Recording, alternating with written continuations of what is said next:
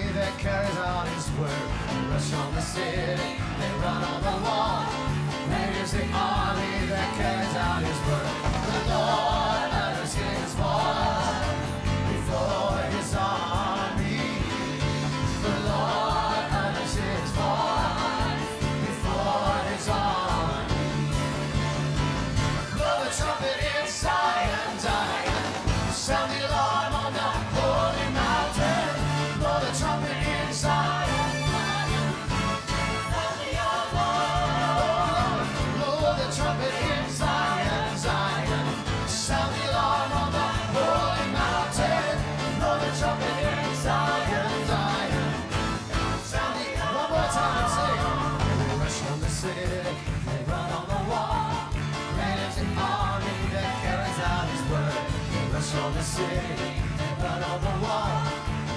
The army.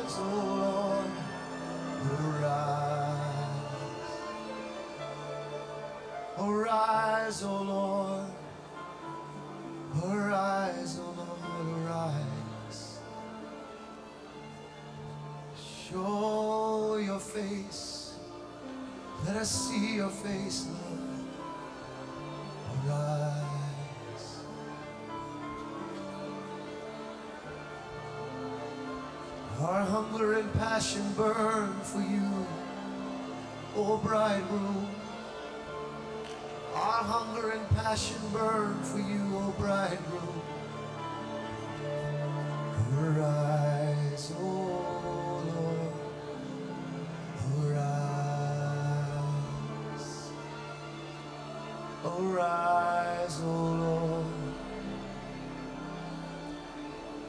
Holy One, Holy One, Holy One, Holy One of Israel, Son of David, arise, O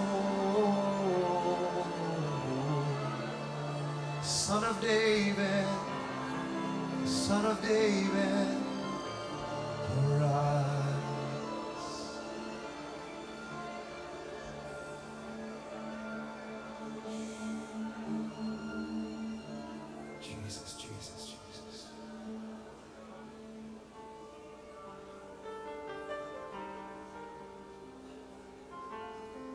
Sing this a lot in revival, but I feel like we should sing it. Spirit of the Lord is upon you because he has anointed you to preach good news. The Spirit of the Lord is upon you because he has anointed you to preach good news. Brownsville, he has sent you to the nations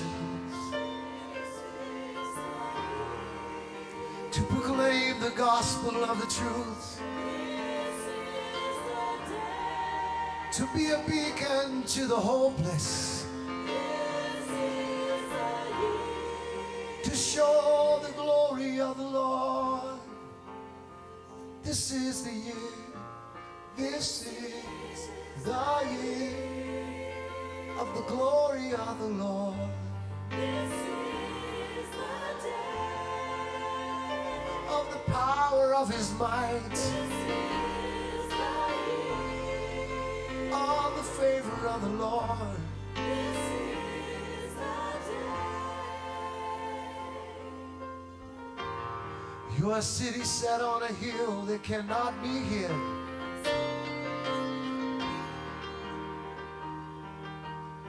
To be reflectors of his glory. As the evil rises, the glory of the Lord will break through and break every hindrance. This is the year, this is the year. Do not be faint of heart. Don't be faint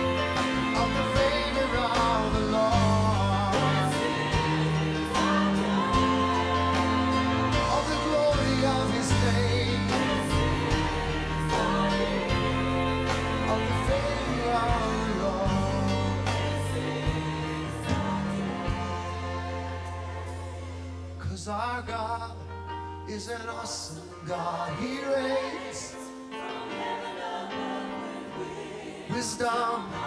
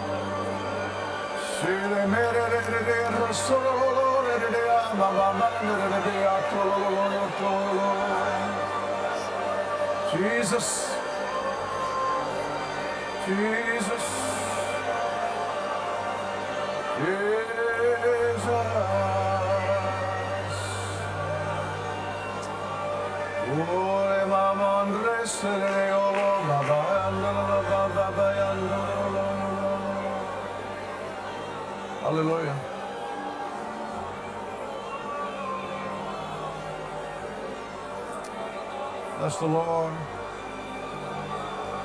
Bless the Lord. Bless the Lord.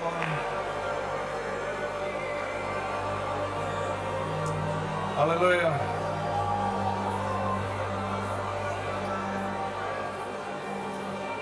Hallelujah.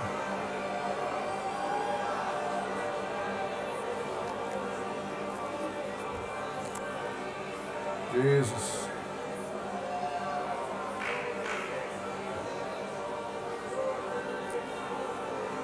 Hallelujah. Bless you, Lord. Bless you, Lord. Bless you, Lord Jesus. In the other building across the street, just worship the Lord. Here in this building, just worship the Lord.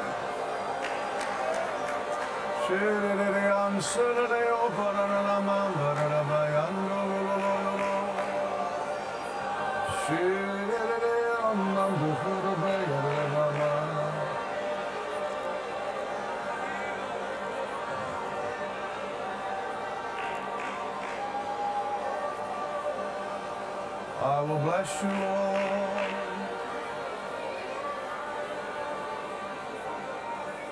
will bless you, Lord. Thank you, Jesus. Thank you, Jesus. Thank you, Jesus. Thank you, Jesus. You are wonderful, Lord. Wonderful, Lord. You wonderful, Jesus.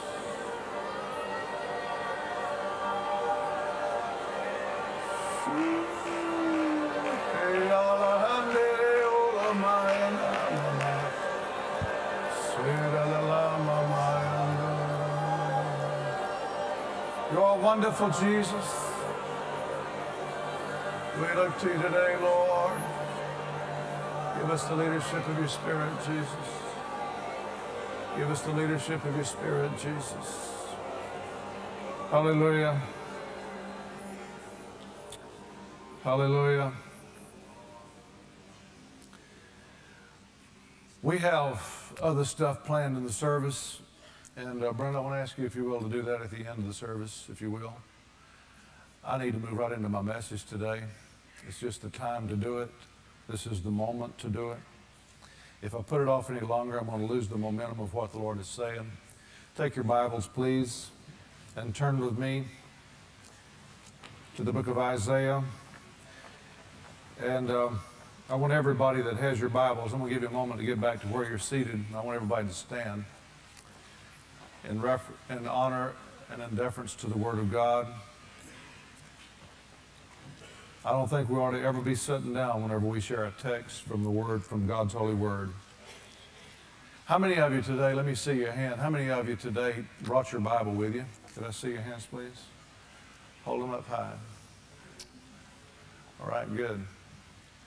You're going to need them. because today I've got a different kind of a message altogether. You don't know how long I wrestle with the Lord over this thing. I mean, I wrestle with the Lord over this thing, and I don't. I would have rather went in my my repertoire of sermons down through the years and pulled out anything to preach rather than this. This is tough.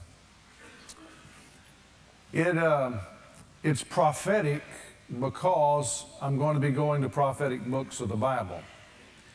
But it's also prophetic because I feel that the Lord has spoken to my heart. And I don't claim to be a prophet, I'm a pastor. But uh, I want to come to you with the right spirit whenever I reveal the message that the Lord has given to me. I want to have the right spirit totally. I look at things completely different than I once looked at things. Even as society as a whole, I look at it different than I used to look at it because I realize how desperately our society and the societies of the world need God. God's judgment is not, to me, it's not a terrible thing. To me, it's a wonderful thing. Because God's judgment usually is administered to bring forth mercy. And uh, today, this message is really difficult for me to preach because I, I, would like to come to you this morning and feed you from the Word of God. I have a whole pile of scriptures. Don't have but four pages of notes, uh, but I have a whole bunch of scriptures. And I won't even call this a sermon today. I just want to call it an exhortation as to how God is dealing with my heart. Now, I know that people are going to be watching this message from all over the world because we're on the Angel Satellite Network and we're also on other networks. And this program is carried all over Great Britain. It's carried really all over the world. So I know today that as people hear this message, they're going to tune in at certain points in this message different people from different places. Very few people catch the whole message and they'll tune in different points. And I want to make sure that whenever people tune in that they hear the mercy and the love of God and not a harshness and not a meanness of spirit. But the message that I have today is a very solemn message and um, it deals with are we seeing the wrath of God? That's the message, that's the title of the message. Are we seeing the wrath of God? Isaiah chapter number 26 and verse 9.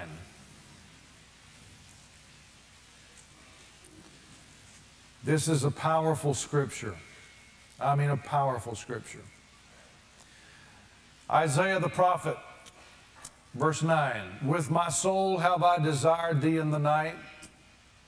Yea, with my spirit within me will I seek thee early. For when thy judgments are in the earth, the inhabitants of the world will learn righteousness. Did you feel that? Let's read that one more time. With my soul have I desired thee in the night. Yea, with my spirit within me will I seek thee early. Jesus of Nazareth. Ooh, I feel the presence of the Lord. Jesus.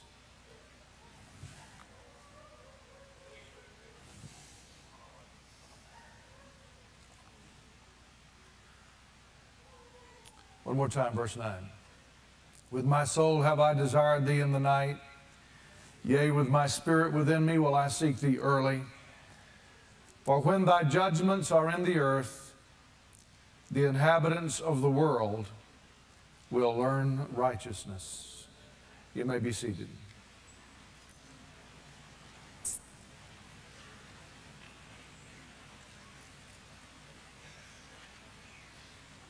Hallelujah.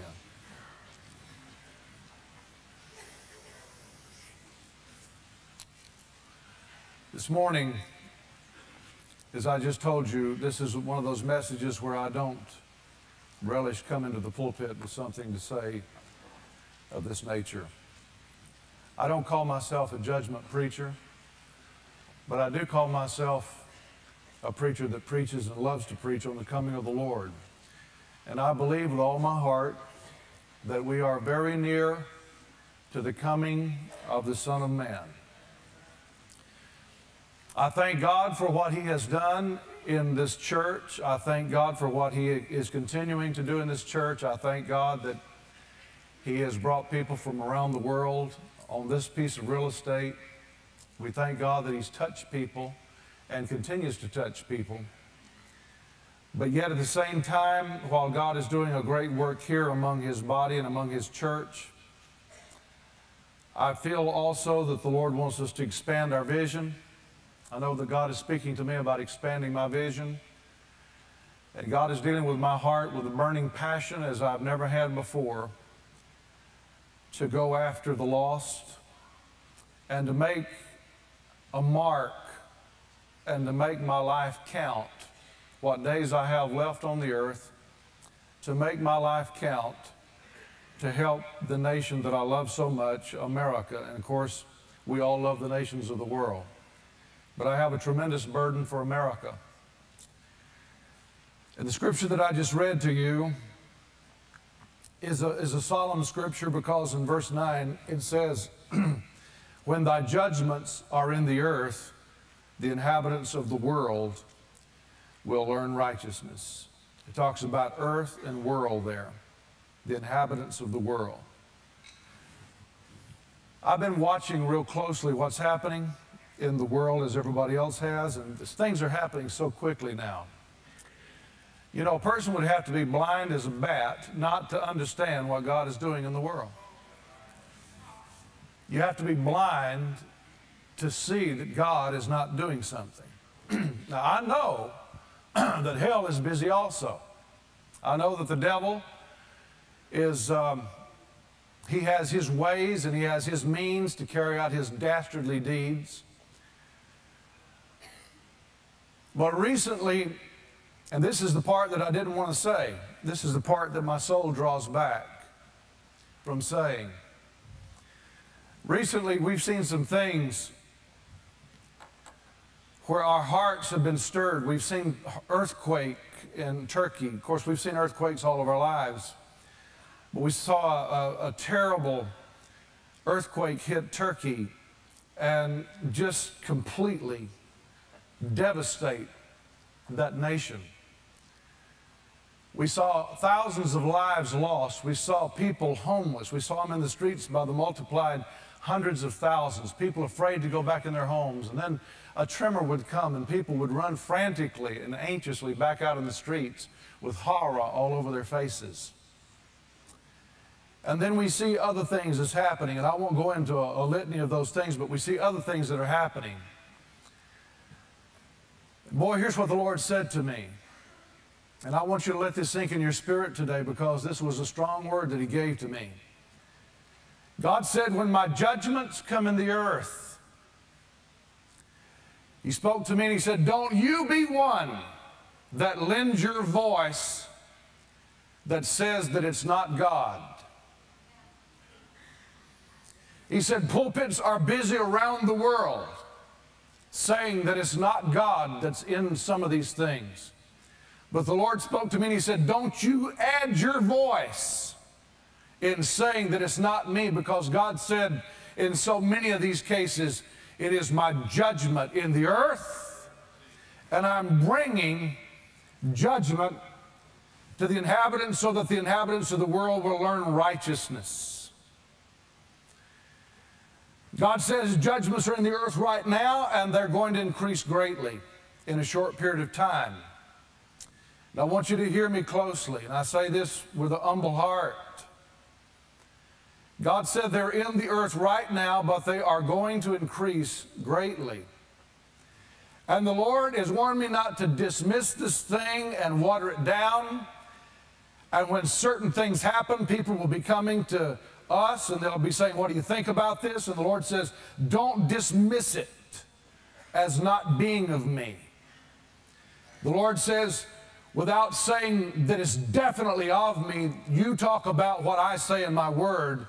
And this is the scripture that He gave me. He says that the inhabitants of the world will learn righteousness when His judgments are in the earth. Yesterday I heard two things just signs of the times. You don't have to listen hard, but they come. I heard two things yesterday. where my ears perked up, and it was another shout of the friend of the bridegroom that said, Prepare ye, for the bridegroom cometh real soon.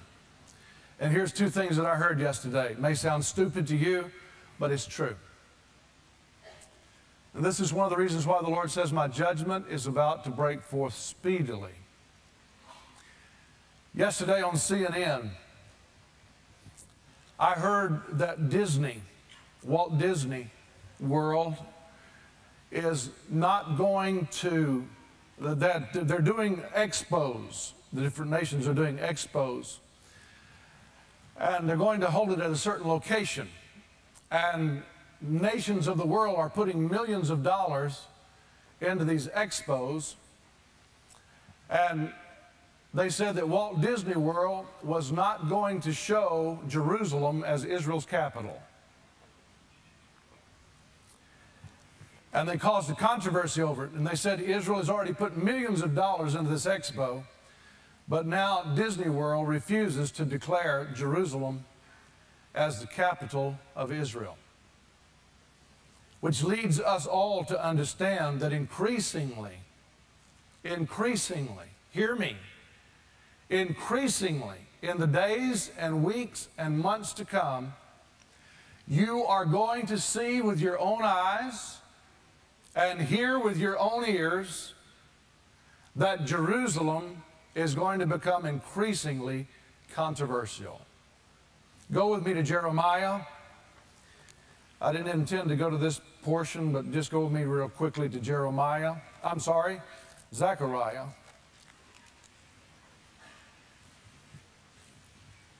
Zechariah.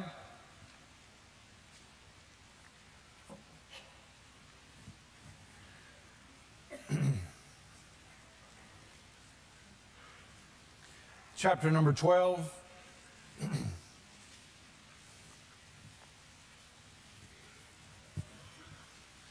Jeremiah, uh, Zechariah chapter number 12, verse 1.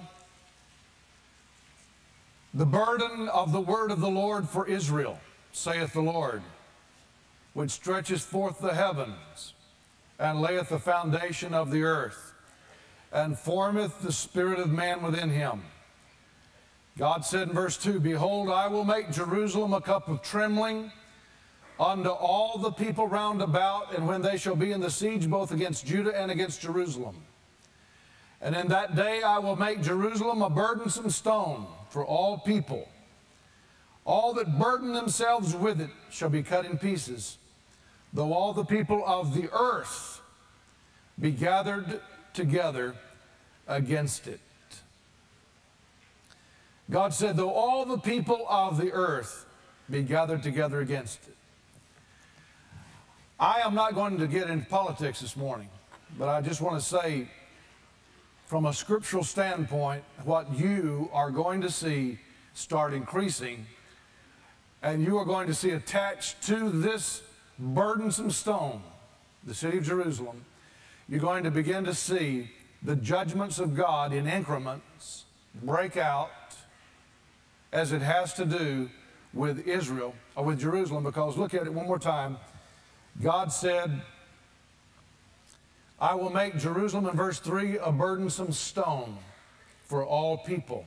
God said, In that day, will I make Jerusalem a burdensome stone for all people, and all that burden themselves with it shall be cut in pieces.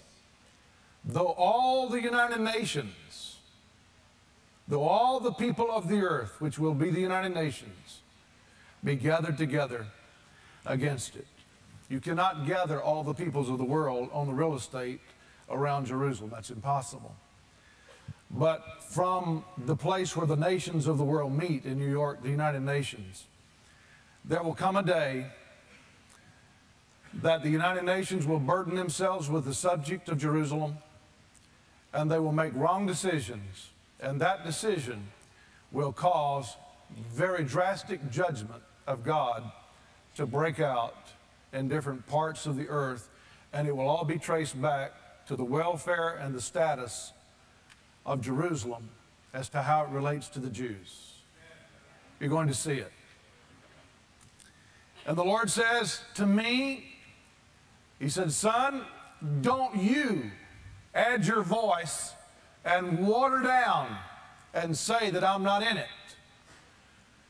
God says, Because if you do, I'll move my glory and I'll go somewhere else where I can find a man that will speak up for me.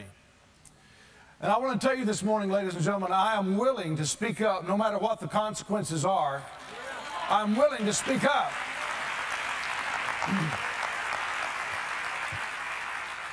I don't feel like I'm anybody. Honestly, I don't. I don't feel like I'm anybody. But God has done something powerful, and He has given us a platform. And because of that platform, I want to walk humbly before the Lord, and I want to speak justly and rightly. I don't want to say too much, and I don't want to say too little. But the one thing that the Lord has said to me was, don't add your voice to those that say, when my judgment is in the earth, that, that judgment is not of God, that it's Mother Nature, or that it's a happenstance.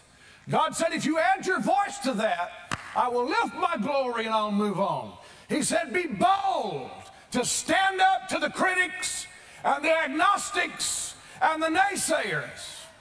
Be bold to stand up and say, God is in this somehow. And I want to say to you today, God is right now moving mightily in the face of the earth. Wake up and see that our God is doing some great things. And you haven't seen the last, you really are just beginning to see the beginning. Our televisions now are almost constantly bombarded with news events that are hot off the press, and by the time they get that story, another one is breaking somewhere else. One of the things that alarmed me this week that I saw that I didn't like, I don't know if you noticed it or not, but I did.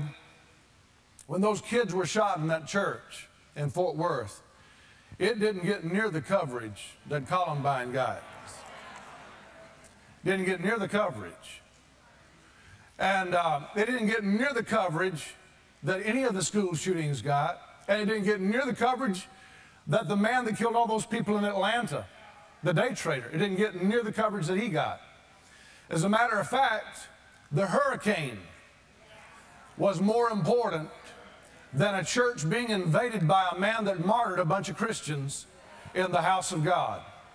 I think that it would have been a lot better if we would have recognized the blood that was splattered all over the walls of a church in Fort Worth than talking about the floods that took place up and down the East Coast.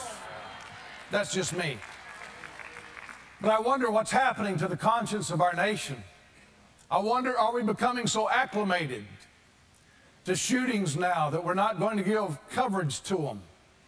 Or are we getting to the point that a school shooting is more important to this secular society than a church shooting is.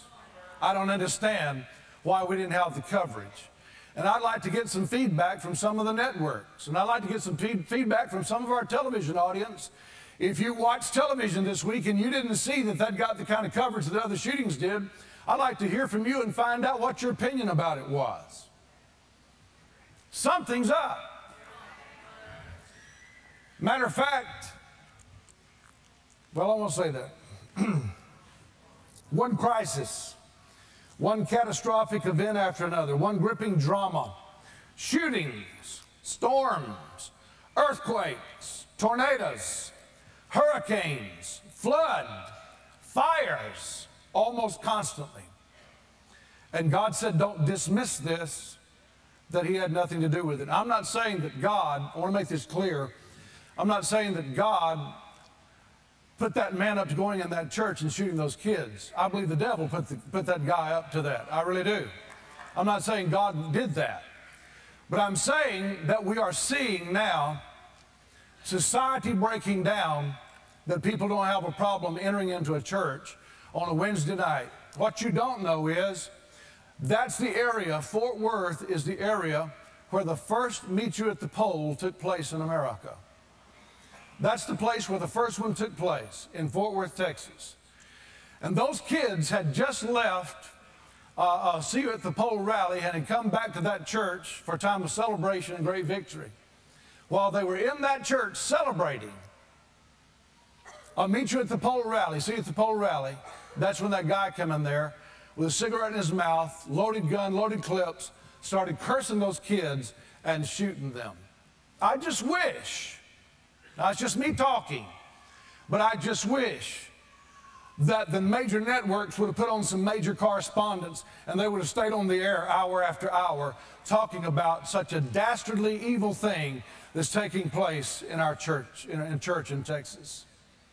I just wish they would have done that. And we see these things taking place. And it makes you wonder what's going to happen next week? What's going to happen in the next few days to come? Now, there are going to be people that's going to claim that certain things that's happening is an act of nature. Now, I'm not, I'm not a fool, friend. I understand that there's certain times of the year, like right now in September, when the Weather Channel, other meteorologists can tell you that there is a hot period in the tropics where hurricanes form, tropical storms, tropical depressions form. It's a hot period. It's really from about August, uh, just about the whole month of September, winding down in the first weeks of October.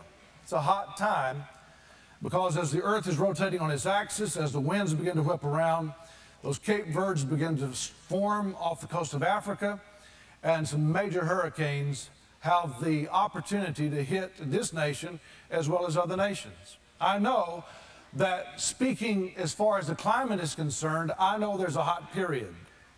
But I also go to the Word of God and I find out that God has His hand in the elements also. The Lord yesterday began to take me into the Word of God and He began to show me some things that I want to point out to you. As a matter of fact, go to the book of Jonah. The book of Jonah is about seven or eight books to the left from the last of the Old Testament. It's about seven or eight books to the left of the last book of your Old Testament. Jonah chapter 1.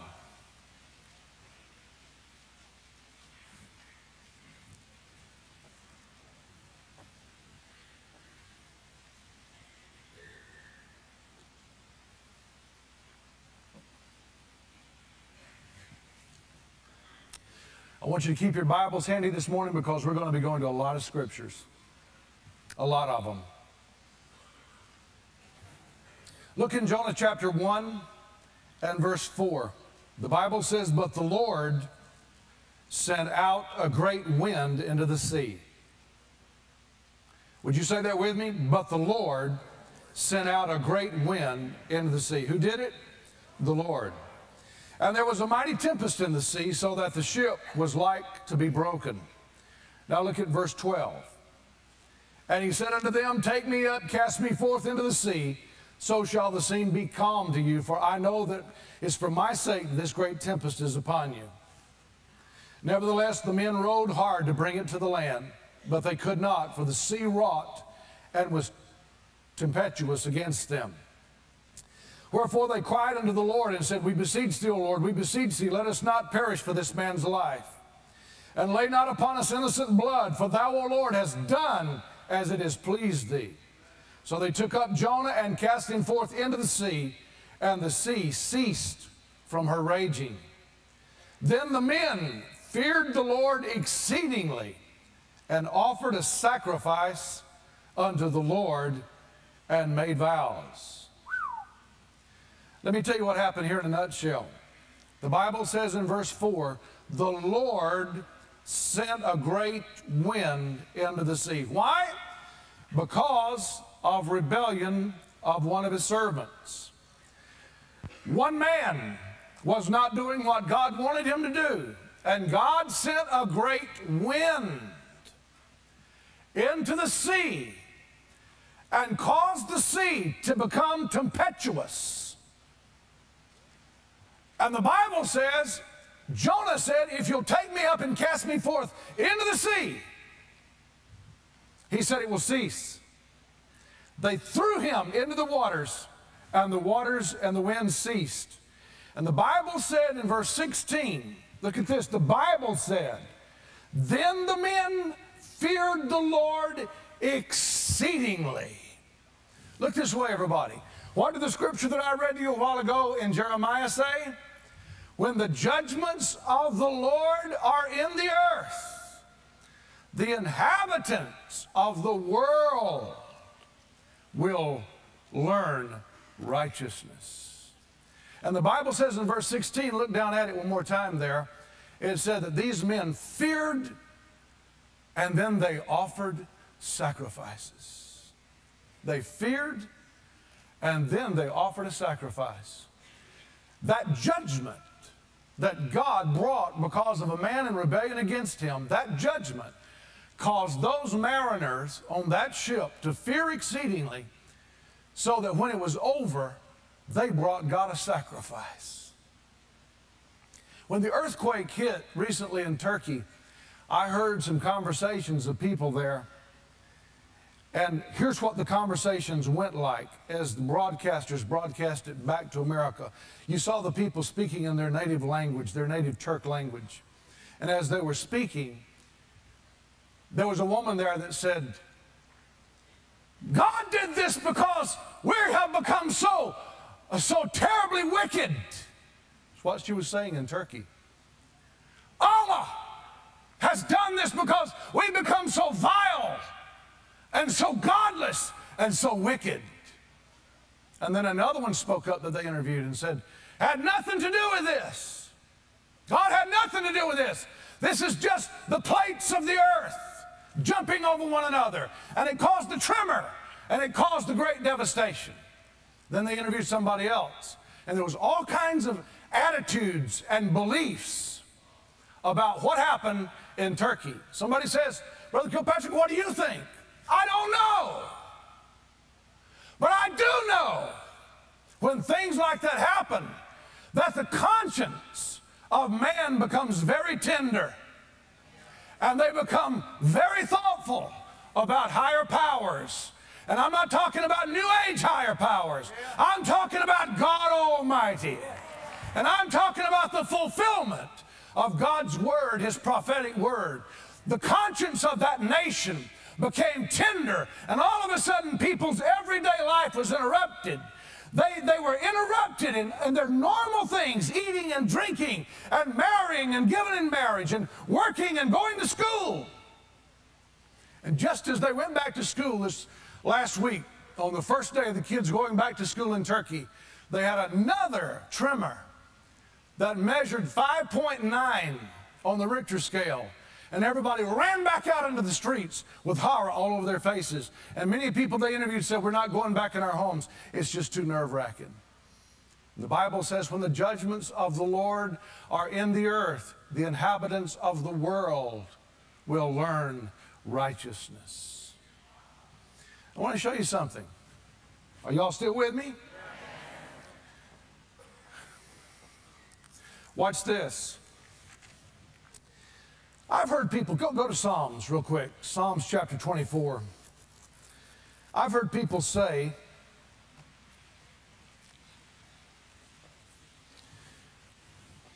I'll give you time to turn there and then I'll tell you what a belief is.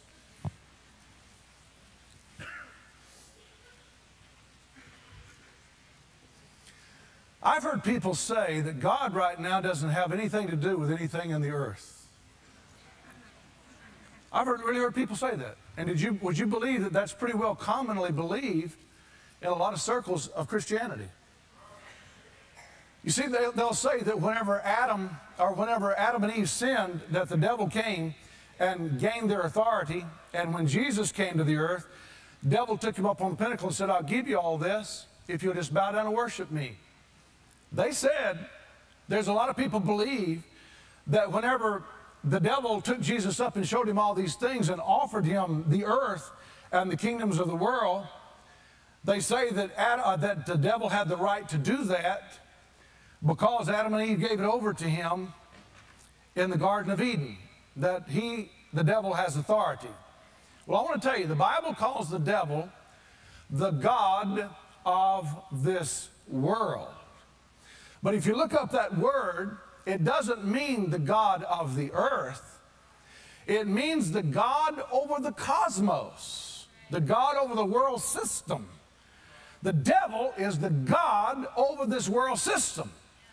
But in Psalms 24, it's interesting what the psalmist said here, chapter 24, verse 1. It says, The earth is the Lord's, and the fullness thereof. The world, you see that? The world and they that dwell therein. Go to Luke, what Jesus said about it. Go to Luke chapter 10 and verse 21. Luke 10 and verse 21. How many of you believe that Jesus would say something that wasn't right? Oh, come on. I said, How many of you believe that Jesus would say something that wasn't true? Look in Luke chapter 10 and verse 21. It says, In that hour Jesus rejoiced in spirit and said, I thank thee, O Father, Lord of heaven and earth. Lord of heaven and earth. The Bible says that the earth and the fullness thereof is the Lord's. God is sovereign over the elements of the earth and can use them to facilitate his wrath if he pleases. Now, I want you to look in Genesis 6, and I want to show you this is after the sins of Adam and Eve. I want to take you back here and I want to show you something powerful in regard to the flood. I know I've got a lot of scriptures this morning. This is highly unusual, but I wanted you to see every one of them. I could have picked a hundred more, but I wanted you to see these at least. Genesis 6.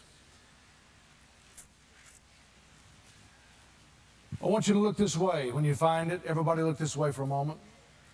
Friend, if the earth is the Lord's and the fullness thereof, God can choose to use the elements of the earth to facilitate bringing wrath on the earth. I said, God can use the elements to facilitate bringing his wrath on the earth. God will bring wrath so that the inhabitants of the world will greatly fear and learn righteousness.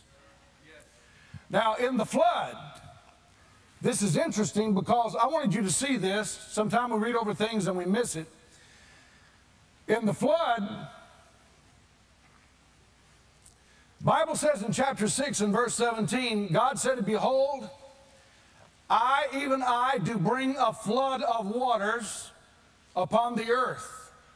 Why? To destroy all flesh, wherein is the breath of life from under heaven, and everything that is in the earth shall die. Verse 17, God said, I do bring a flood of waters upon the earth. There are people in pulpits today. Listen, this, listen, everybody, look this way. There are pulpits and preachers today that will not preach that because they say they don't want their congregations to become fearful.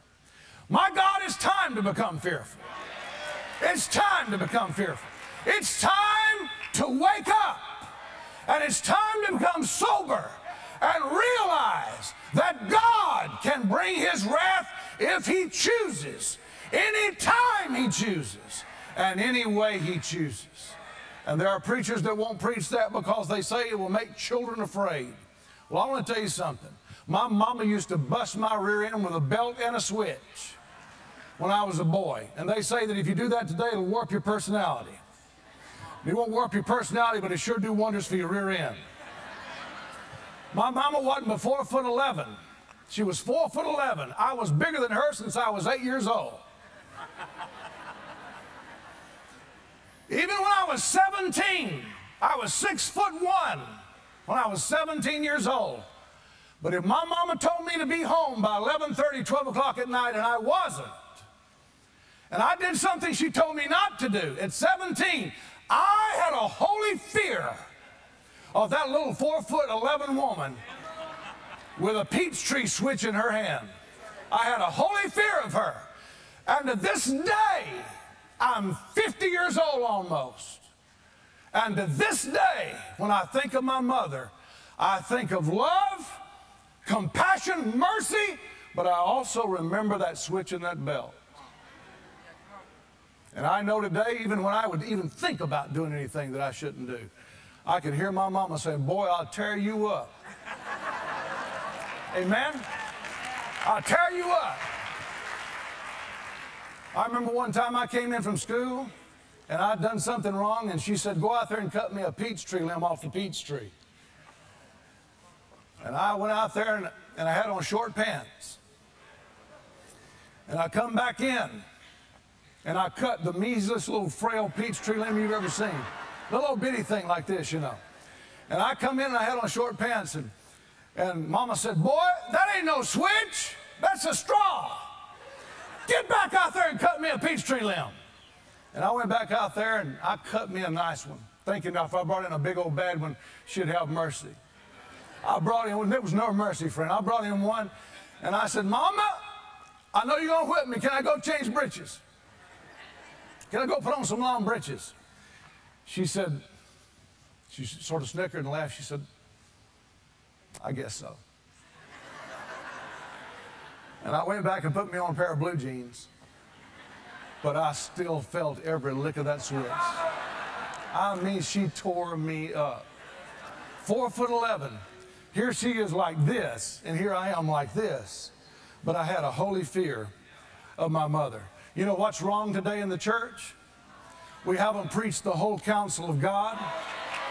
We haven't preached the whole counsel of God. In an hour that we're living in, I want you to hear me, everybody. I don't want to max mean here. But in an hour that we're living in, right on the brink of the coming of the Son of God, right on the brink of the breaking forth of tribulation on the earth, right in a time when hell is breaking loose, one of those most popular messages of the hour is money cometh.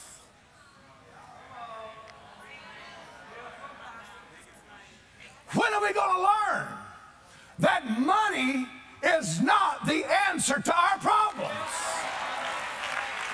Listen, we are under a president that under his administration, we have enjoyed the lowest interest rates, lowest inflation, the best incomes, lowest unemployment in America. People are doing better than they have ever done and we got more hell than you shake a stick at. And the church has the audacity in this hour to be somehow motioning in the spirit world for money to come to me. Friend, let me tell you, money is not the answer to the ills of the world. I tell you what God is trying to do. God is trying to show us that money doesn't satisfy, things don't satisfy. God's trying to show us, I love you and I want to bless you and I am blessing you. But if I have to pull the rug out from under you to get your attention, I will pull the rug out from under you. And friend, I hope that doesn't happen, but I am here today to warn you, and I believe that God has raised us up and given us a little bit of a voice. And I'm here today to say that the time for money cometh is not now. God said, if you'll seek first the kingdom of God and his righteousness, he said, all these things shall be added unto you. But I think it is so sick that right now in this particular time frame that the church is stuck on this thing of money cometh money cometh. I've seen preachers just so excited money cometh! And they're closing their eyes on television and calling it in I'd much rather see them close their eyes on television and say, Jesus is coming. Not money's coming. Jesus is coming. Amen. Well, the Bible says in verse 17, God said, I bring a flood of waters upon the earth. But look in chapter 8, verse 1.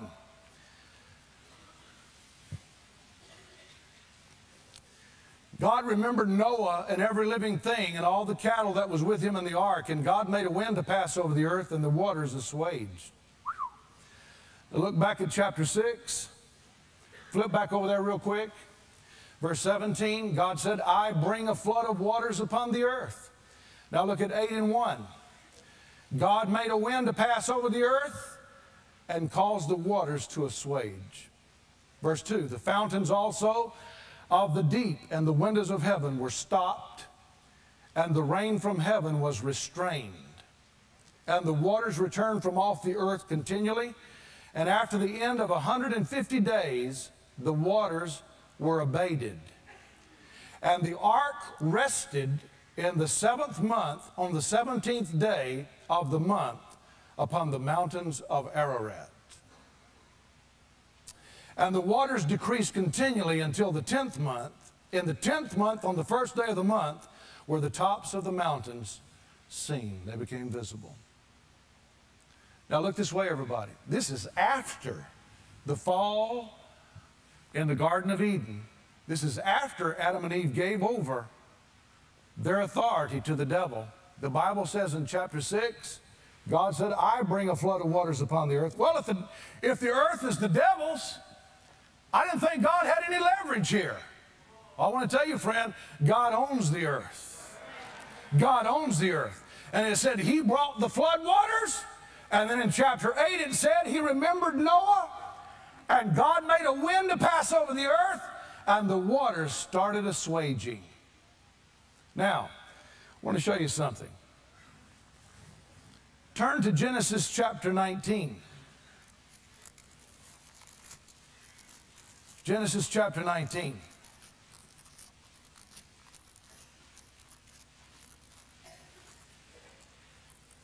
I heard another thing on the news yesterday that I wanted to tell you about.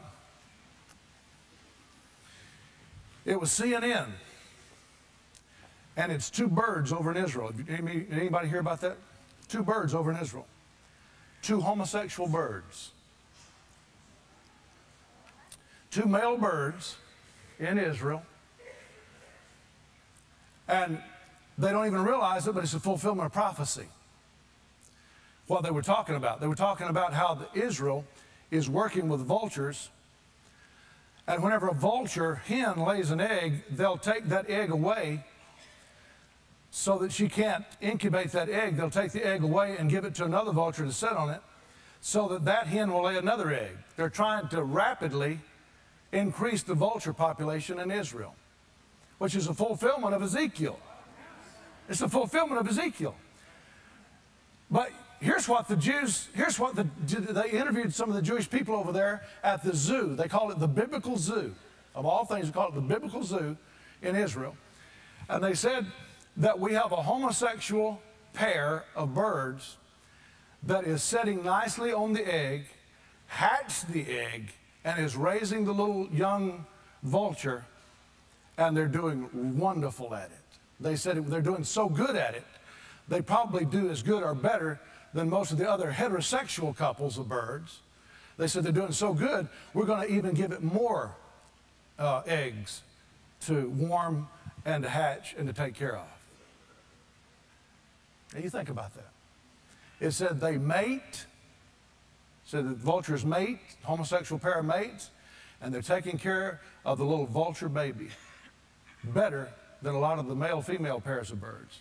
And that was on the national news yesterday here in America, and they were laughing about it. And they were just gloating that that homosexual lifestyle, even with the birds, works so well. If it works so well with the birds, why can't America wake up and start recognizing one-sex marriages, same-sex marriages? And they're totally qualified to raise children also. Well, I want to go ahead today and make this real clear.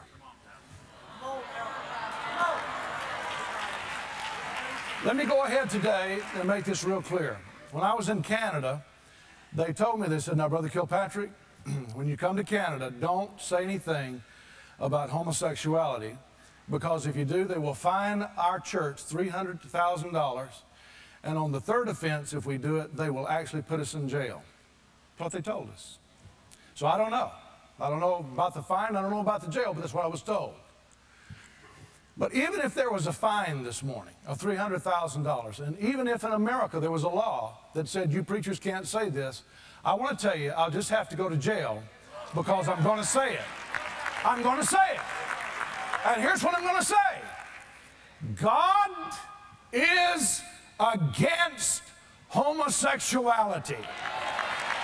It is unnatural. Listen, it is unnatural.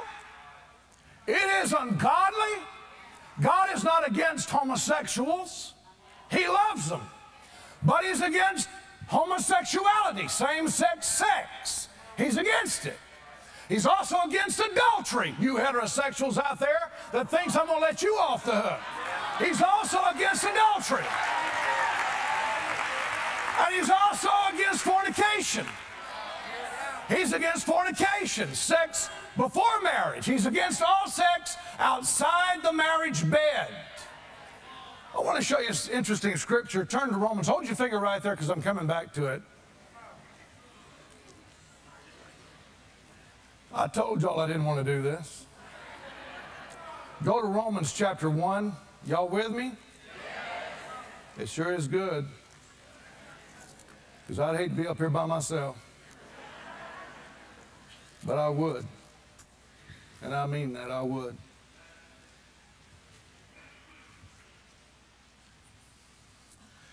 Well, I want to show you something here. This is powerful scripture. Now, I didn't, didn't come this morning with this in my notes. But let's, let's let it be real clear. Don't amen and don't clap or nothing. But let, let me just make a statement. We're not trying to work up a crowd here, friends. We're not trying to get some kind of emotional frenzy going on where people amen the preacher because he's really bearing down on sin.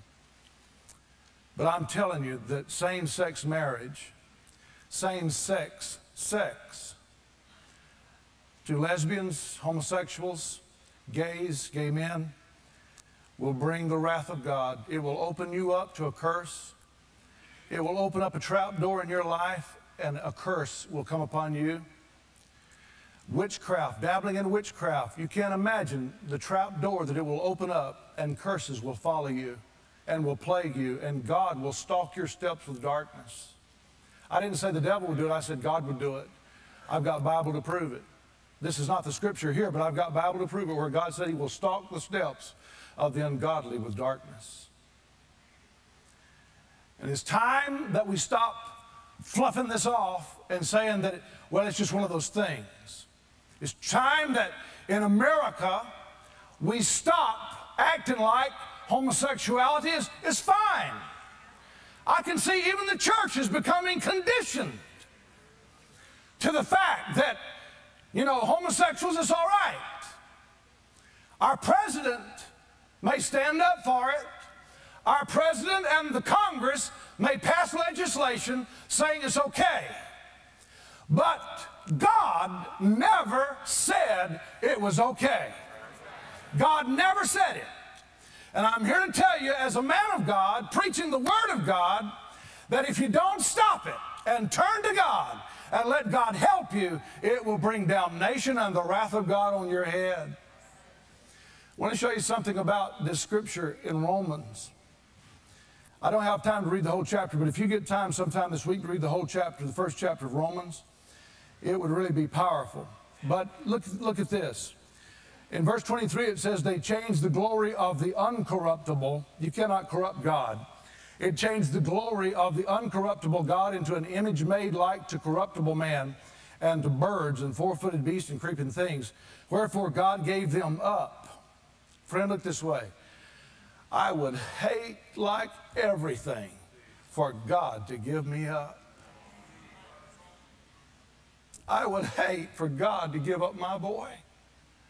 I'd hate for God to give up this church. I'd hate for God to give me up as a preacher. Give me up and give me over. He don't just give you up, he gives you over to a reprobate mind, gives you over to a spirit of uncleanness, gives you over to a spirit of perversion. He don't just give you up, he gives you over.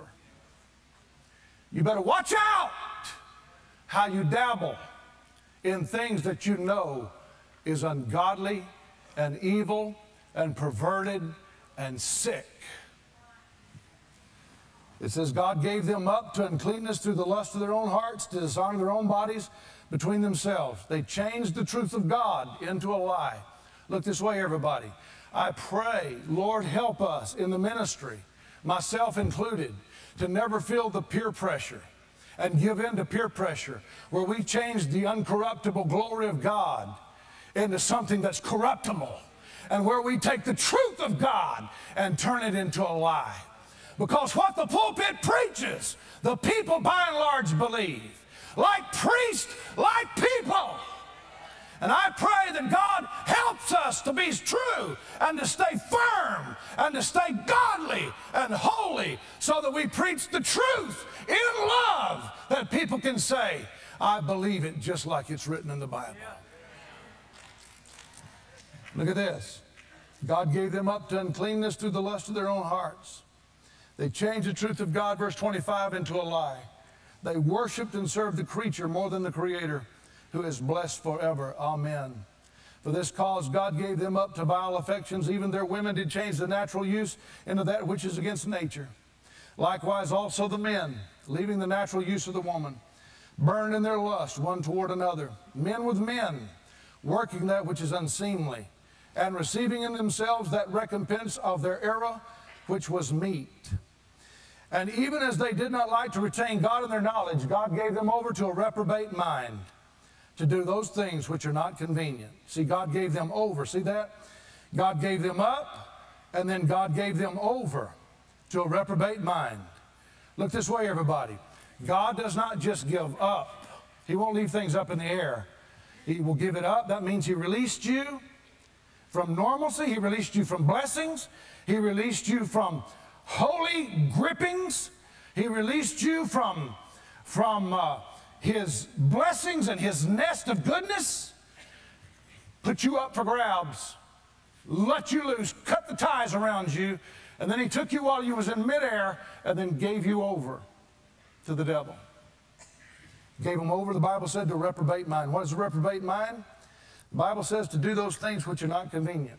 Being filled with all unrighteousness, fornication, wickedness, covetousness, maliciousness, full of envy, murder, debate, deceit, malignity, whisperers, backbiters, haters of God, despiteful, proud, boasters, inventors of evil things, disobedient to parents, without understanding, covenant breakers, without natural affection, implacable, unmerciful. Now look at verse 32, this is where I'm trying to get to. Who knowing the judgment of God, that they which commit such things are what? Worthy of death. Not only do the same, but have pleasure in them that do them. When I heard that report yesterday on CNN about those birds, this scripture came back to my mind. Verse 32 came back to my mind when it says that they which do such things are worthy of death, not only do the same, but they have pleasure in them that do them. These reprobate, secular, ungodly, corruptible minds that's been given over to a reprobate mind, they took pleasure in airing that report about those homosexual birds in Israel, raising an egg, hatching the egg, raising a little vulture. They took pleasure that that homosexual couple was able to provide the nurture and the care of that little vulture. They took pleasure in that. And here's what the Bible said in that same verse it says, They are worthy of death.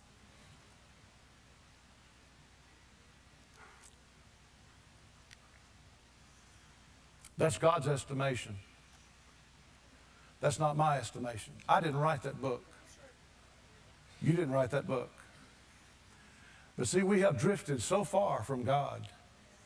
The things that we hear every day in our everyday lives, the news broadcasts, the newspapers that we read, we have drifted so far from God that to read something like that today in 1999 in your Bible looks almost like, oh, how unmerciful could God be? No, friend, God never changes and you better make sure you anchor yourself to Him. The world may change. The ideologies and the philosophies and the belief systems of the world may change, but you better anchor and bolt yourself down to the Word of God and keep believing what God says and forget about these other things. Wow. Let me hurry. Y'all still with me?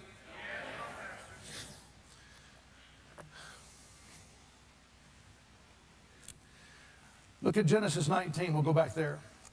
I'm hurrying. I've only got one more page to go.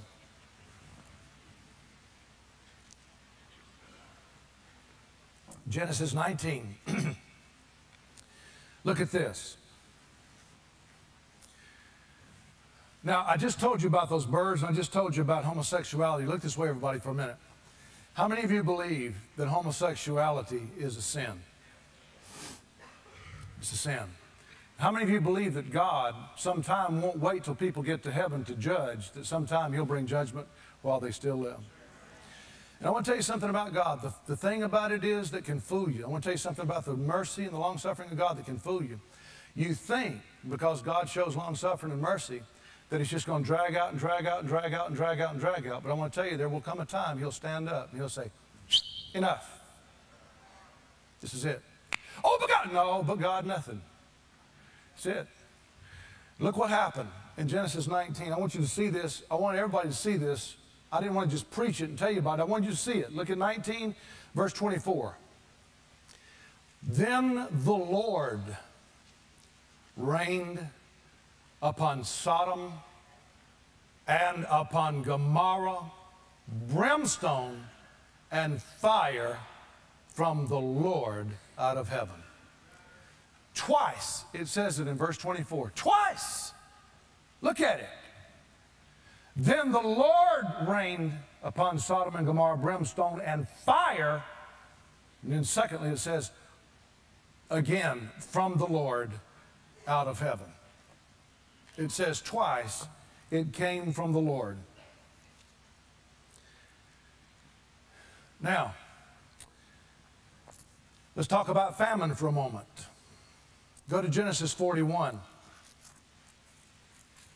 I'm going to talk about several things here before I close. I'm going to talk about earthquakes, wind, thunderstorms. I want to just show it to you for a minute. I want you to look in your scriptures. Believe me, friend, I could give you hundreds. I'm just choosing a few. These are little snapshots, but I could give you hundreds. I want you to see this. Genesis 41, verse 28. This is the thing which I have spoken unto Pharaoh. What God is about to do, he shows to Pharaoh. He said, Behold, there will come seven years of great plenty throughout all the land of Egypt. And then there shall arise after them seven years of famine. And all the plenty shall be forgotten in the land of Egypt, and the famine shall consume the land. And the plenty shall not be known in the land by reason of that famine following, for it should be very grievous.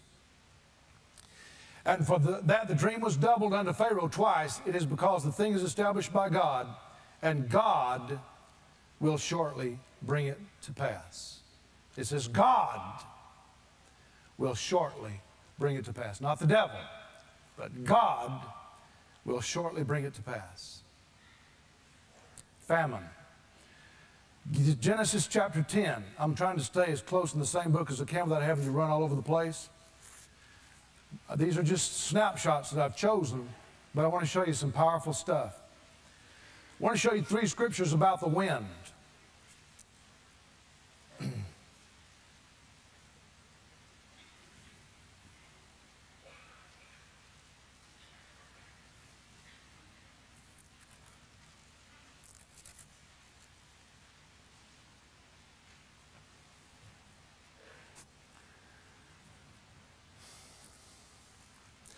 I'll tell you what, let me, let me skip these. I'm not going to have time to go through these. I've got too much other stuff to do. Let, let me skip these on the wind. Believe me, I got them, but let me give them to you later. Let's go to 1 Samuel. Let me go to the thunderstorm. My time is running out. 1 Samuel chapter 12. I want to show you one on the thunderstorm. By the way, You probably expected this to come, so let me just go ahead and say it. what I'm about to say, I'm not going to say as a prophet because I'm not a prophet, I'm a preacher. I'm just a, just a pastor. That's all I am. So I'm not saying it as a prophet. but many of you probably expected it to come, so I'm going to go ahead and say it because the Lord told me that He wanted me to say it this morning. You don't really have any idea, friends, of the things that are going to break out on the earth in the near future, you think you have a point of reference from things that's happened in the past? things that are about to break out on the earth, there's not even a point of reference for them of anything that's happened in the past. They're going to be strange. They're going to be unusual. And the Bible says it like this it says there will be fearful sights from heaven. Not fearful sights in heaven, but fearful sights from heaven. The Bible says in Matthew 24, if you take time to read it, it says in Matthew 24, Jesus said there will be earthquakes in divers places. But when you go to Luke chapter 21, Luke chapter 21 says, there shall be great earthquakes in divers places. Seismologists will tell you that a great, great earthquake is usually anything over 6.5 to 7.1. That's great earthquakes.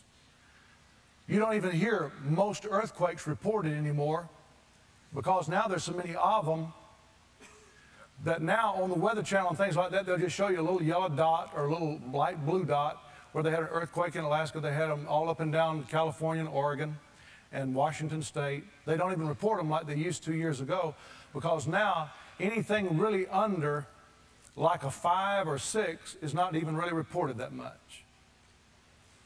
But Jesus said in Luke 21, He said there will be great earthquakes in divers places. And believe me, there's nothing that gets the attention of the inhabitants of the world like an earthquake. Such helplessness, such feelings of helplessness, and such a sensitivity upward and outward. People begin to think about God. They begin to think about their evil ways, just like that woman in Turkey said. As a Muslim, she said, We have offended Allah because of our evil ways.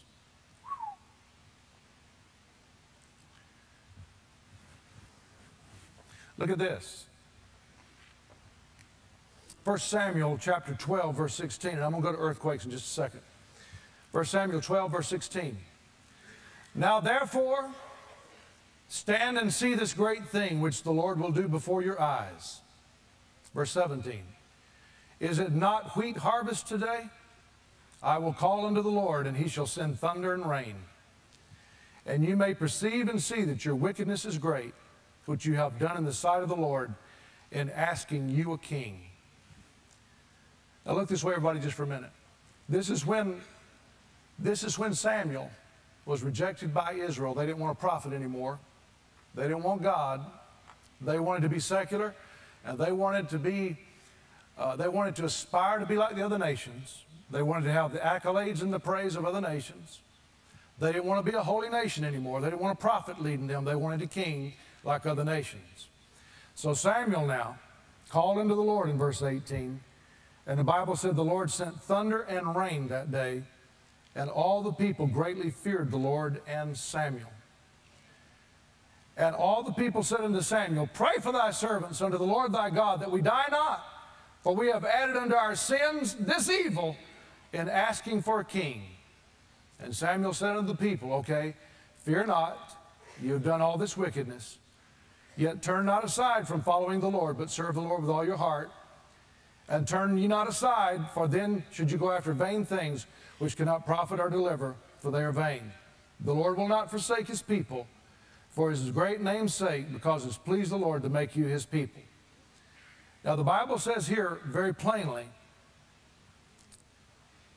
it says, The Lord sent thunder and rain that day, verse 18, and all the people greatly feared the Lord and Samuel. It was a thunderstorm God sent to get their attention because he was displeased that they were trying to depart from him. Oh my, when I think about how America is daily, daily departing from the Lord, it makes me wonder and it makes me quiver and shake as I wonder, God, what are you going to send to bring this people back to yourself? Now, somebody might say, Brother Kilpatrick, does God cause earthquakes? Well, let's take a look and let the Bible talk about it. Go to Psalms 18. Psalms 18.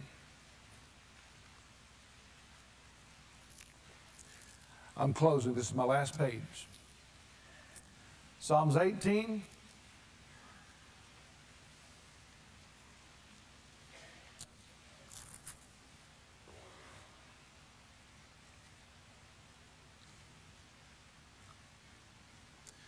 Verse 2 The Lord is my rock and my fortress and my deliverer, my God, my strength, in whom I will trust, my buckler, and the horn of my salvation and my high tower. I will call upon the Lord who is worthy to be praised. I'll be saved from my enemies. The sorrows of death compassed me, and the floods of the ungodly men made me afraid. The sorrows of hell compassed me about, and the snares of death prevented me. In my distress to call upon the Lord and cried unto my God. He heard my voice out of his temple, and my cry came before him even into his ears. Look at verse 7. Then the earth shook and trembled. The fountains also of the hills moved and were shaken because the Lord was wroth. The Lord was angry. Isaiah chapter 2. I'm going to give you a bunch of scriptures. I want you to see it. We're going to let the Lord tell us what he thinks about earthquakes. Isaiah 2. Look at verse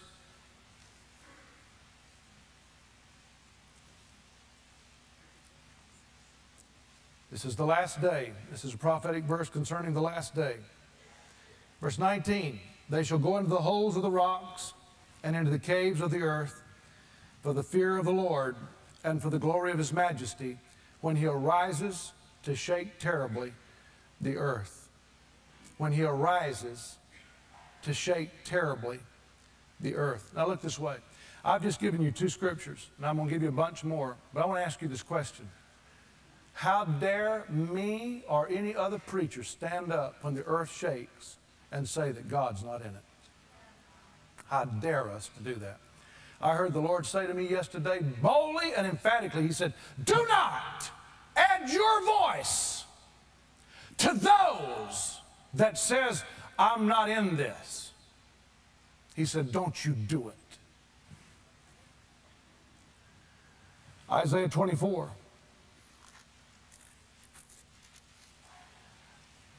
Verse 18.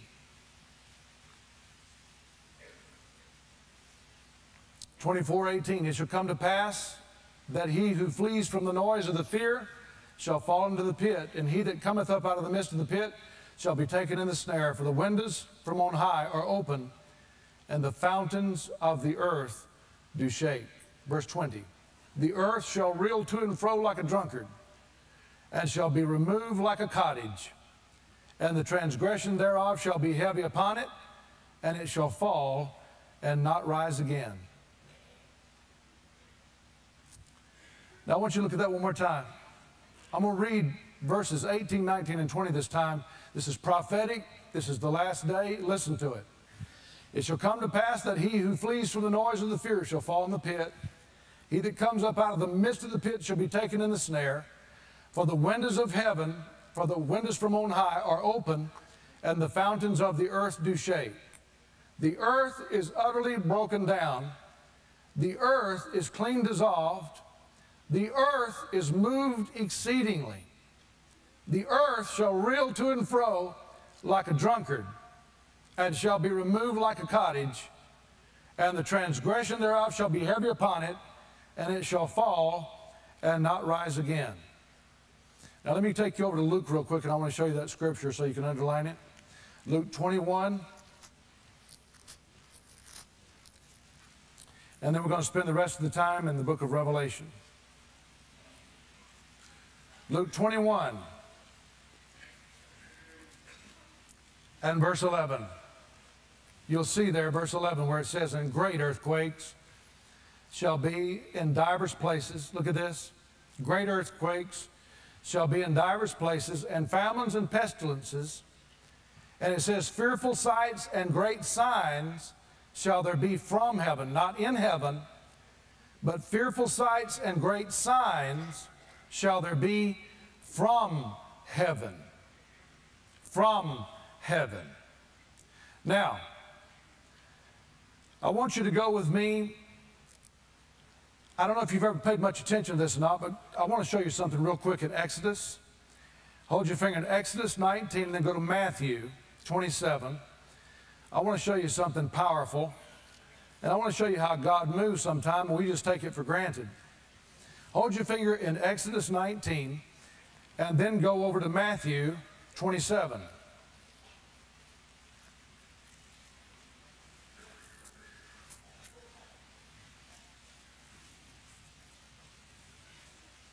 Exodus 19.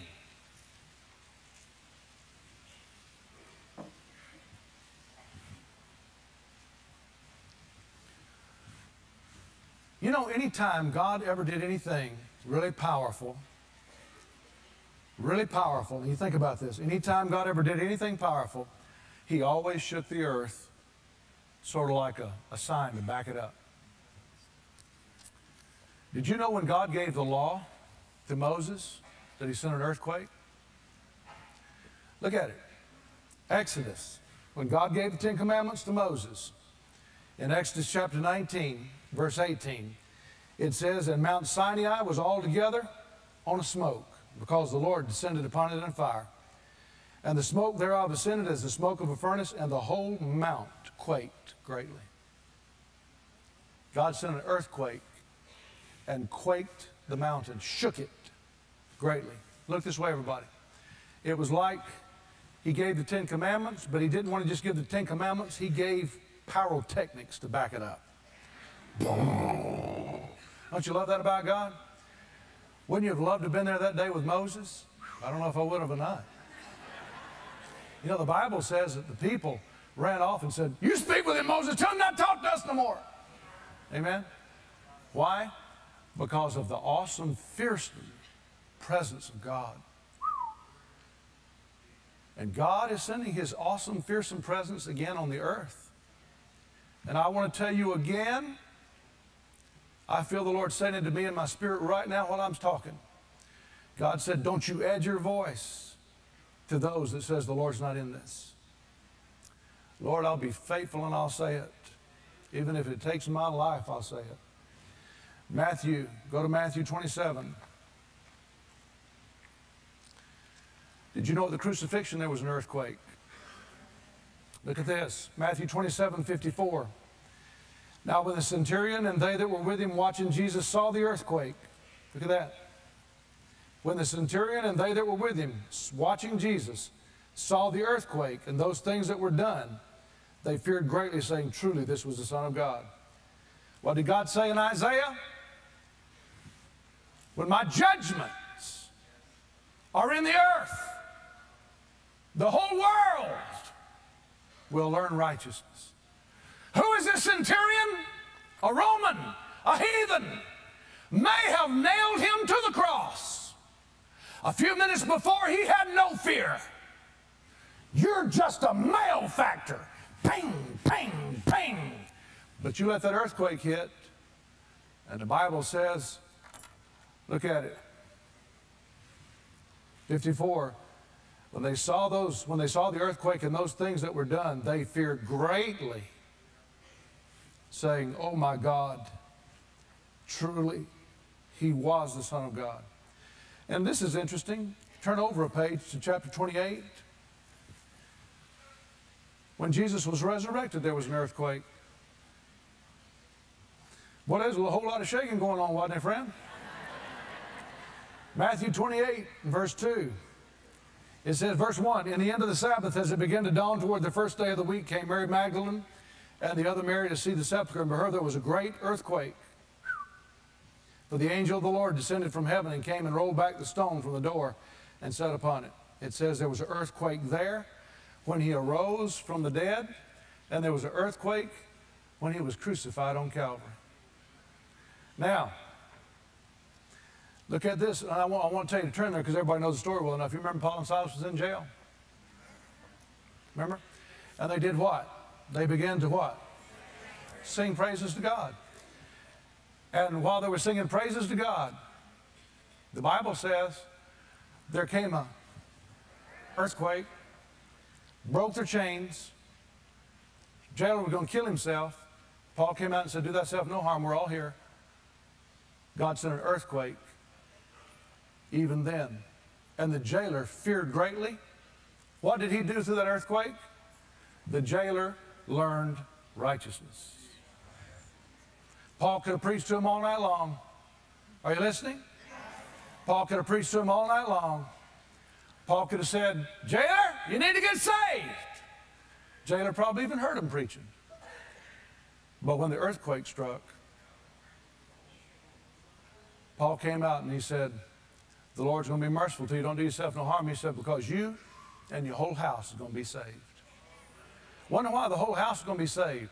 Because probably earthquake shook them up too. Amen? I don't think that earthquake was just localized, just a, a seismic malfunction underneath the jail. I think it shook the whole area. And so Paul said, Hey, earthquake, let's go to your house. They're, they're ready too. They're ready too. They're going to learn righteousness tonight too.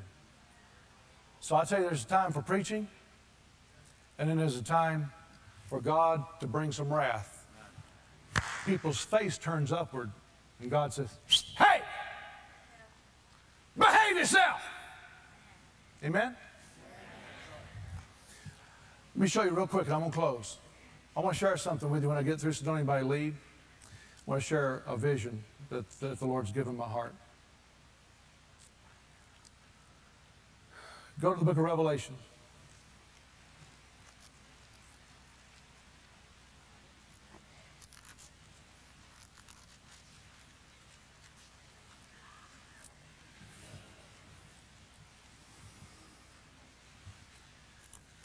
Now, these are future earthquakes that the Lord is predicting. Prophetically, He tells about them before they ever happen. He already talks about them as though they've happened, but they hadn't happened yet. Revelation 6, verse 12, it says, Behold, 6, verse 12, I beheld, and he had opened the sixth seal, and lo, there was a great earthquake. The sun became as black as sackcloth of hair, the moon became as blood. Stars of heaven fell to the earth as a fig tree casts her untimely figs when she's shaken of a mighty wind. And the heaven departed as a scroll when it's rolled together, and every mountain and island were moved out of their places. Say this with me every mountain, every island were moved out of their places. Look this way, everybody. Look this way. That's why I said a while ago, you think you have a point of reference of things that's about to happen. You, you, the past is no point of reference at all. Turkey shook. Southern California shook. China shook. But there's coming in the near future, hear me, there's coming in the near future judgments from God that the world doesn't even have a point of reference of anything that's ever happened before. Now, look at Revelation chapter 11, verse 13. I've got to hurry. My time is gone, gone, gone. Revelation 11, 13. Y'all give me a few more minutes? Bible said 11, 13, and in the same hour there was a great earthquake, and the tenth part of the city fell, and in the earthquake were slain 7,000. Now, isn't that interesting? Look this way. Here the Bible predicts a tremor, doesn't give us the magnitude, but the Bible already says in advance, headlines in advance, that there's going to come an earthquake, and in that earthquake, 7,000 are going to die in that earthquake. It's headlines. Prophecy is headlines written in advance. And it even tells us how many will die. But now look this way, everybody. I'm fixing to take you to a scripture that's going to blow your mind. I've saved this one to last.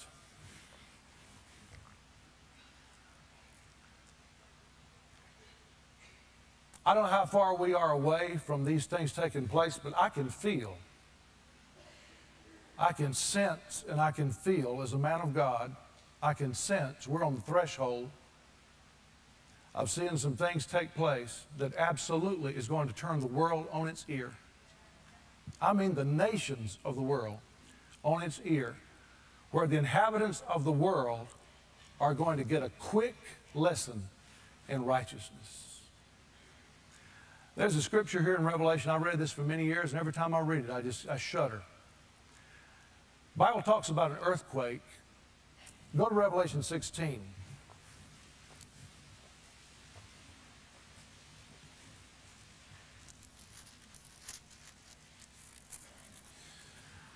Look this way, please. Now, what I was going to say a while ago, and I forgot to say it. I'm not a prophet. I am a pastor. That's all I am. Not a prophet. I'm not prophesying. But I know what the Lord spoke to my heart. And the Lord spoke to my heart. He's been dealing with me for a long time. And believe me, I didn't want to come up here this morning and do this. I wanted to preach something really encouraging to you today. I missed the pulpit last Sunday. And I really wanted to preach something really encouraging to you today. But the Lord spoke to me and He said that this, the conscience of this nation is becoming more and more sensitive. And more and more now, they're beginning to wonder and they're beginning to lift their heads and they're beginning to look up toward me. And God said, You be faithful to preach my word. But He said, You tell them that the worst of the judgment has not come yet, that is yet to come. And in days to come, you're going to see the earth reel and shake and roll to and fro like a drunkard. And you are going to see storms, friend.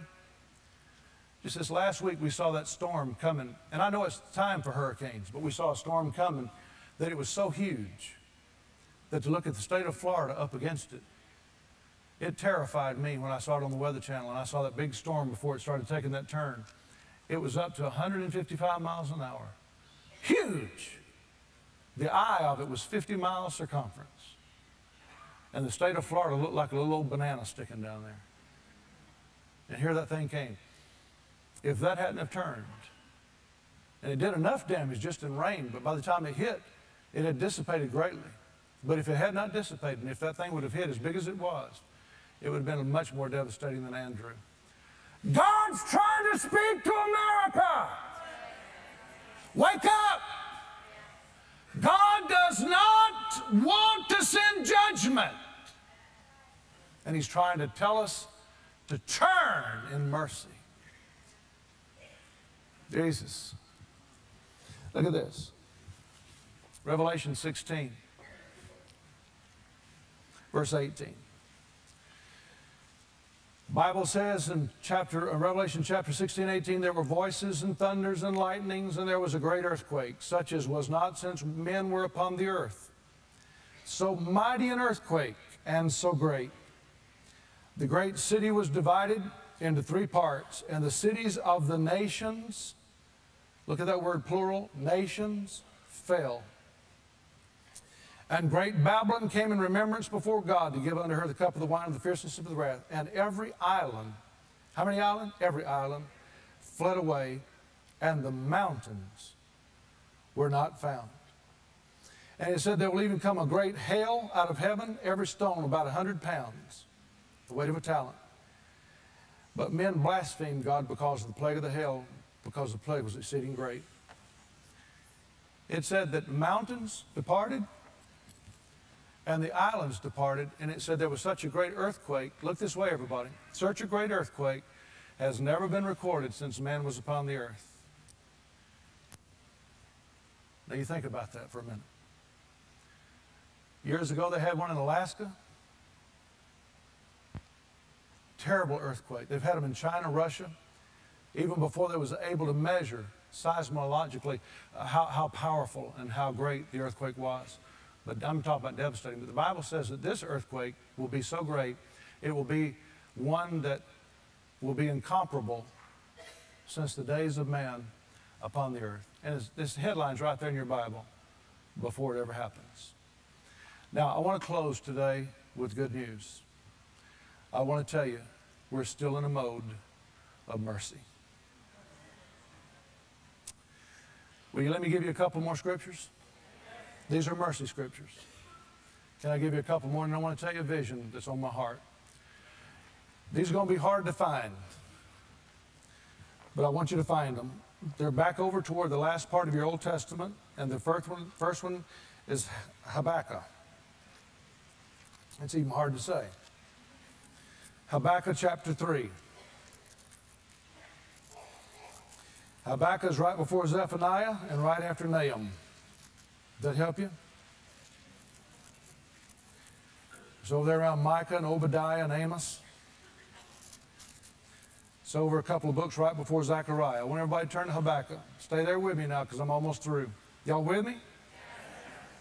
Okay. Habakkuk chapter 3, verse 2.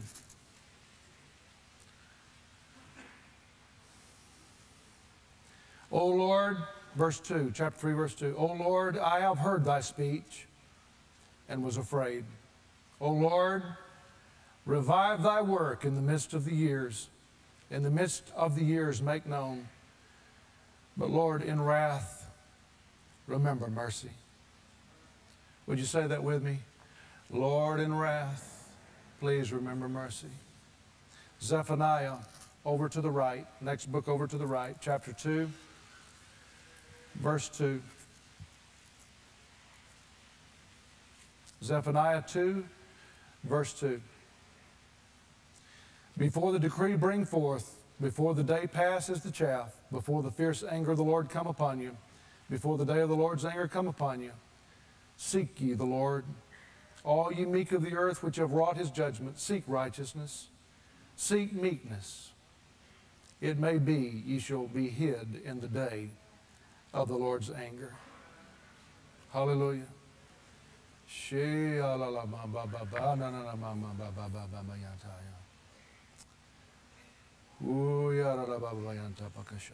Verse 2.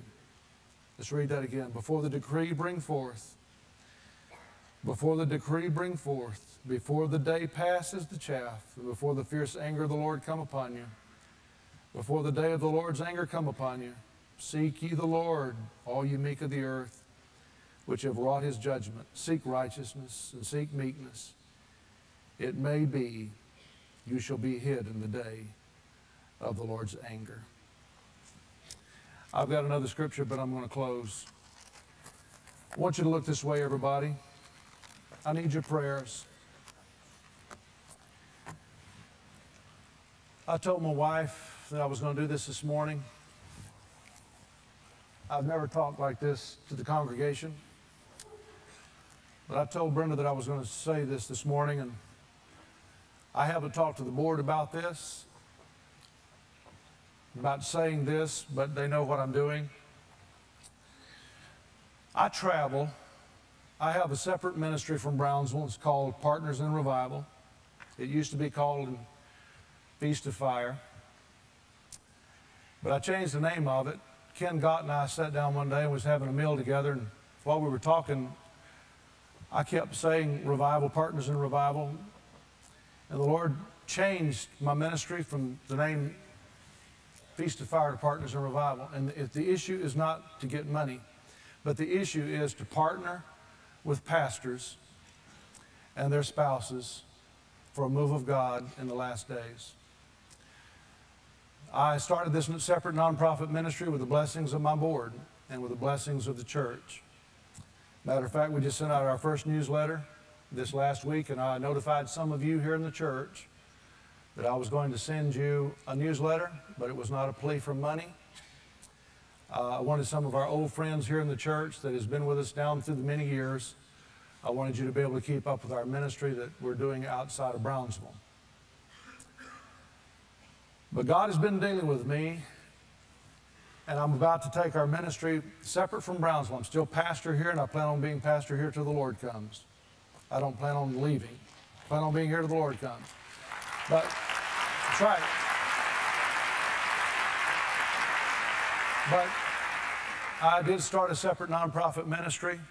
I didn't want to pocket the money that came in. I wanted to put it in a nonprofit ministry. It's very expensive to do what we're doing. But one thing that the Lord has laid on my heart I still travel every Monday and Tuesday. I'm leaving right after service this morning. I go off every Monday and Tuesday. I travel by coach. And I try to help spread revival, but I also minister to ministers and their spouses.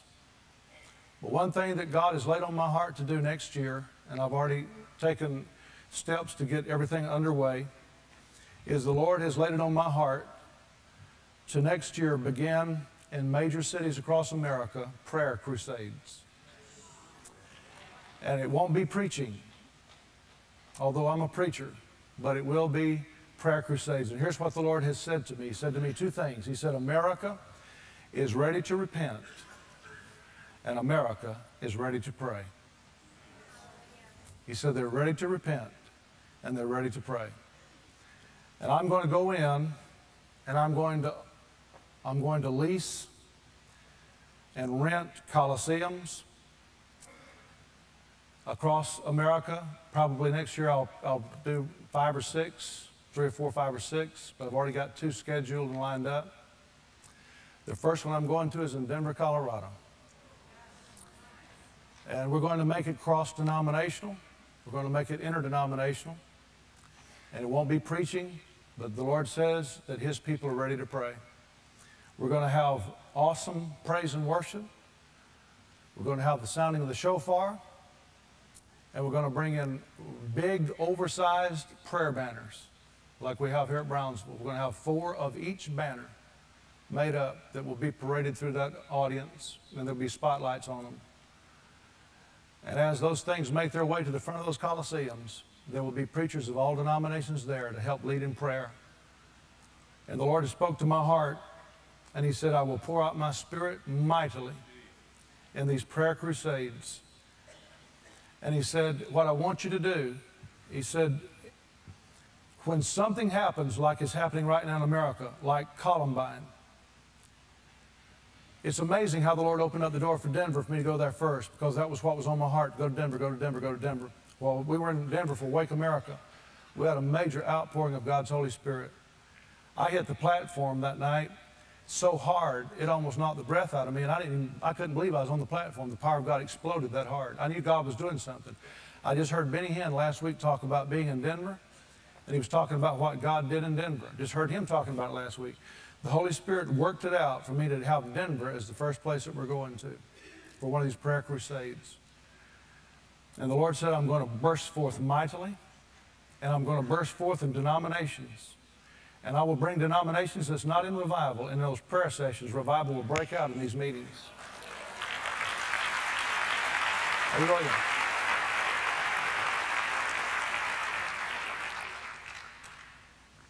The second place I'm going to is Minneapolis.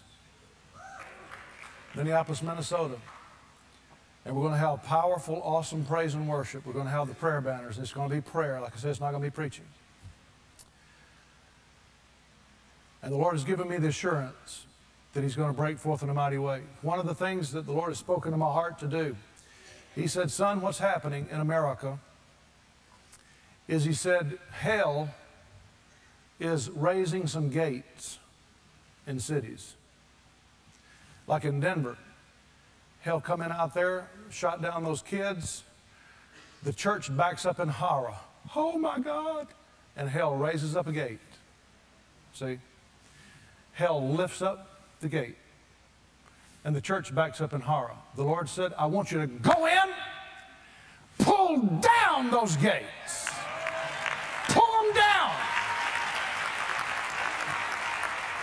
God said, I want you to pull them down. He said, when the enemy comes in like a flood, the Spirit of God shall raise up a standard against that gate. And he said, I want you to go in, mobilize the body of Christ, mobilize the churches, move in with the spirit of prayer that I gave you in Brownsville. Move in with that spirit of worship like breaks out in Brownsville. God said, do it in all denominations where they can hear it. And how the different pastors come, how different denominations come. They'll come by the thousands and have them lift up their voices. And he said, I want you to take those gates that hell has lifted up, and I want my body to take those gates and pull them down so that I might move in in righteousness. The Lord also spoke to me and He said, I want you to do something else. He said, I want you to have some mobile, some mobile prayer task force ready to go at a moment's notice. And he said, when something breaks forth like a hurricane or like an earthquake or like shootings, he said, by that following weekend, you can already have your mobilized prayer task force on the way, and they can organize a citywide prayer meeting while the event is still going on and while the people's conscience is still sensitive. Whew, I feel that. Stand to your feet. Holy Ghost, lift up your voices, friends.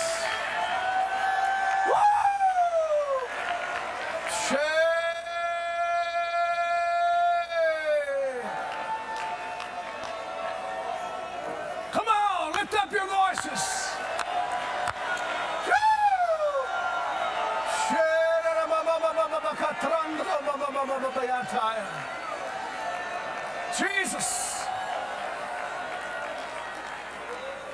Jesus. Holy Lord.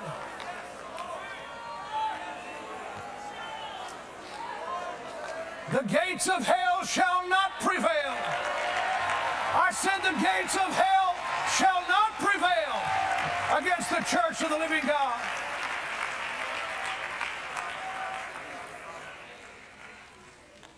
God raised up Steve Hill and is using Steve Hill mightily to bring this nation to repentance. But the Lord said, after they begin to repent, He said, I want you to mobilize my people to begin to pray. That's my role. God's raised up Steve to get people to repent, among others. God's raised up Steve. He's raised up me, among others. We're not saying by any means we're the only ones. That's, for God forbid, that's spiritual pride, and I don't believe that. But the Lord said, I've called him to get my people to repent. And he said, after they repent, he said, I want you to follow up and get them to pray, teach them to pray. My, my pastor, Brother Wetzel, I look back now and I see those prayer meetings. I see now the purpose of it. I remember the first prayer meeting I was in with him. It, it was dark and I was a kid. I was 15 years old. And I remember asking myself that night as I heard those grown men praying, I said, Lord, what am I doing here? What am I doing here? I didn't know how to pray. And the Lord spoke to my heart and He says, Just, I have you here. Learn, learn.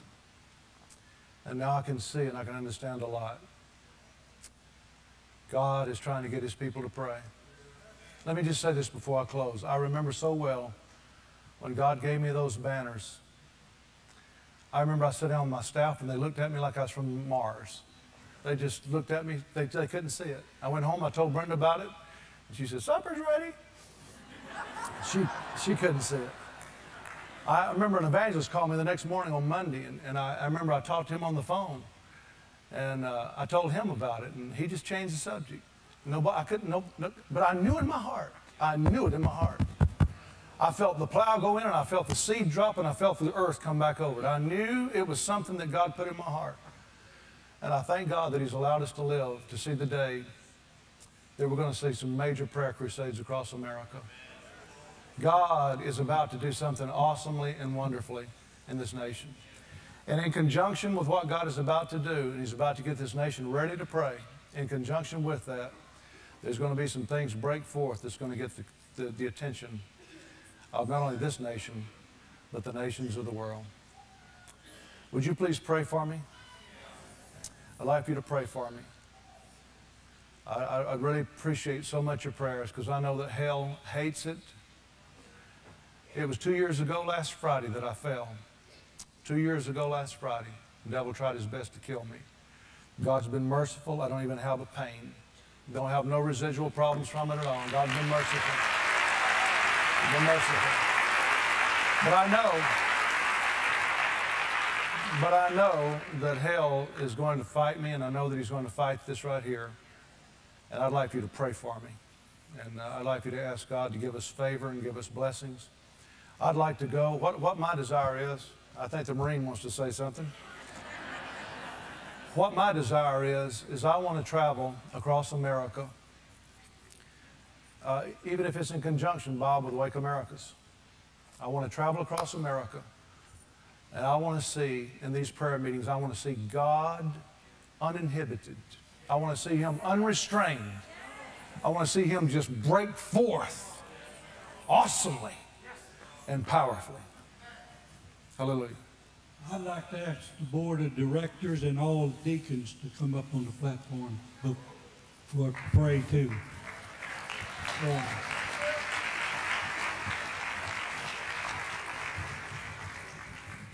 Hallelujah. Bless the Lord. All the pastors also come on up. Bless the Lord. Jesus. Church, I want you to really pray this morning. Will you do that? Don't, don't, just, don't just talk. No, I mean, get a hold of God for me. Brenda, This you is so important. too. This is so important. Brother John. Jesus. Want to ask Brother John Davison to anoint him.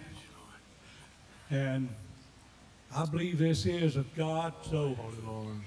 Folks, just put your hands this way as he anoints the pastor and Jesus. pray for him. Let's believe God for a miracle. Oh, Jesus,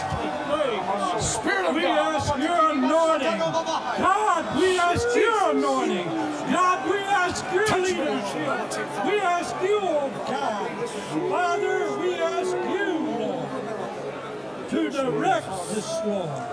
Father, we ask you. Jesus, it's you, Lord. God, we're with you, Jesus. We want your will, Father. Glory to your name. Glory to God. Hallelujah. Spirit of God, move. Those brothers feel back at God. Oh, Spirit of God. Holy Jesus. Touch us, Lord. Holy Jesus. Touch us, Lord. Holy Jesus. Touch us. Touch us, Lord. Touch us. God, we want you, Lord. Oh, Spirit of God. Hallelujah. We need your help, Lord. Glory to God. God. Father, we need you and your strength and your power, your glory, God, upon him, Jesus. God, we ask you to build a hedge around him. Keep him and protect him, Holy Ghost. Oh, Jesus. Right now, Lord. God, we lift you up. Oh, Spirit of God. Spirit of God. Oh, Jesus. Thank you, Lord. Hallelujah.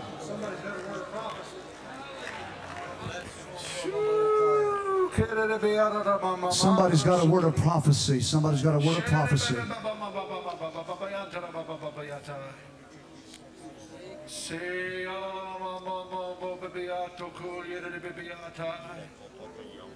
Somebody obey God. For I have chosen this place, saith God, and I have revived and refreshed the nations of the world. But the revival that started here must spread, saith the Lord. One place cannot do it. I have chosen this place, but I've chosen these people to surround this man of God and this team. And what has happened here for the past five years shall now spread. For America shall hear, America shall experience. There is a God in heaven. There is a revival that shall cover this nation and the nations of the world. For it shall come to pass in the last days, saith God, I will pour out of my spirit upon all flesh, not just in Pensacola, but revival centers shall spring up all over the nation. What I've done here is just the beginning. It will intensify, it will increase, it will spread, and the wrath of God will come. But people shall cry out, and I will send mercy, and I will send my glory, I will send my grace, um, and then the trumpet shall sound. I will come in the clouds of glory, and I will gather my people to me. This is the beginning, but it shall spread. Rejoice in the judgment, and rejoice in the mercy, and rejoice in the glory. For this is the day of my visitation, saith God.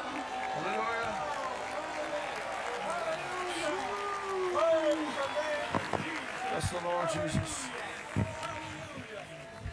I want you to remain standing for a moment, folks. I want you to listen to me. For four, five years, I've walked behind John Kilpatrick and have reaped the blessing of revival.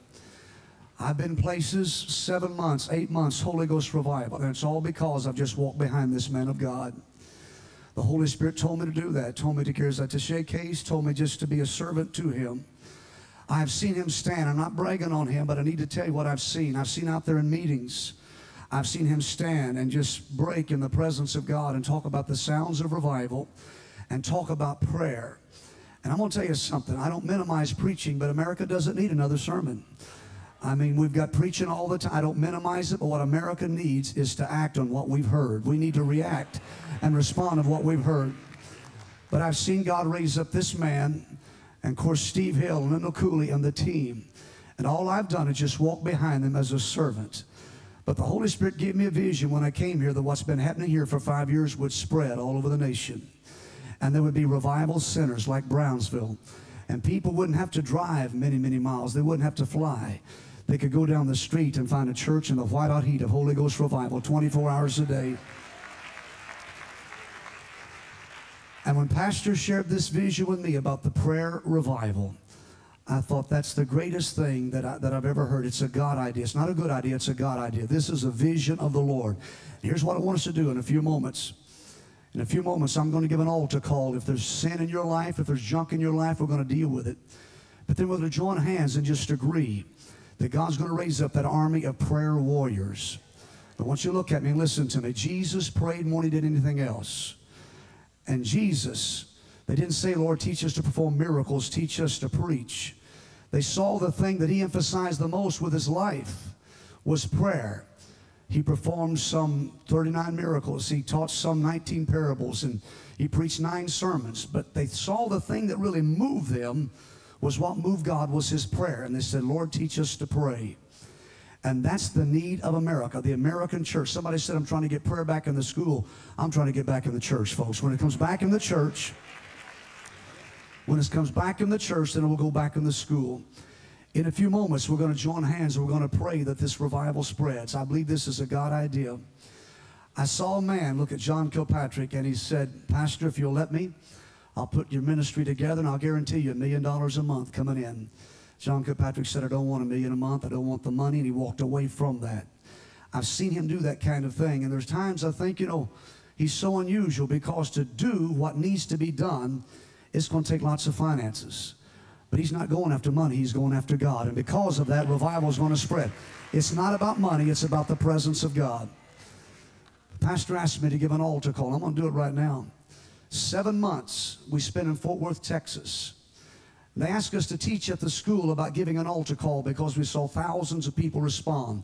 So I called Steve Hill. I said, Steve, I've learned under your ministry. I want you to share with me. And the first thing he told me, he said, John, never assume, never assume that everybody's right with God. He said, on a Sunday setting, people can be clapping and shouting and yet have sin in their life. Never assume that, that Brother Joe, and I think he mentioned that name, is right with God because he shouted last week because he said Brother Joe may have fallen into pornography last night and he's in a trap and he needs to be set free. We've heard a powerful word this morning. You can go a lot of places and not hear as much scripture as we've heard today. Pastor said one thing the judgment of God is really the mercy of God because it's bringing us to repentance. And there's one message, and Steve has preached it time and again, and that's get the sin out.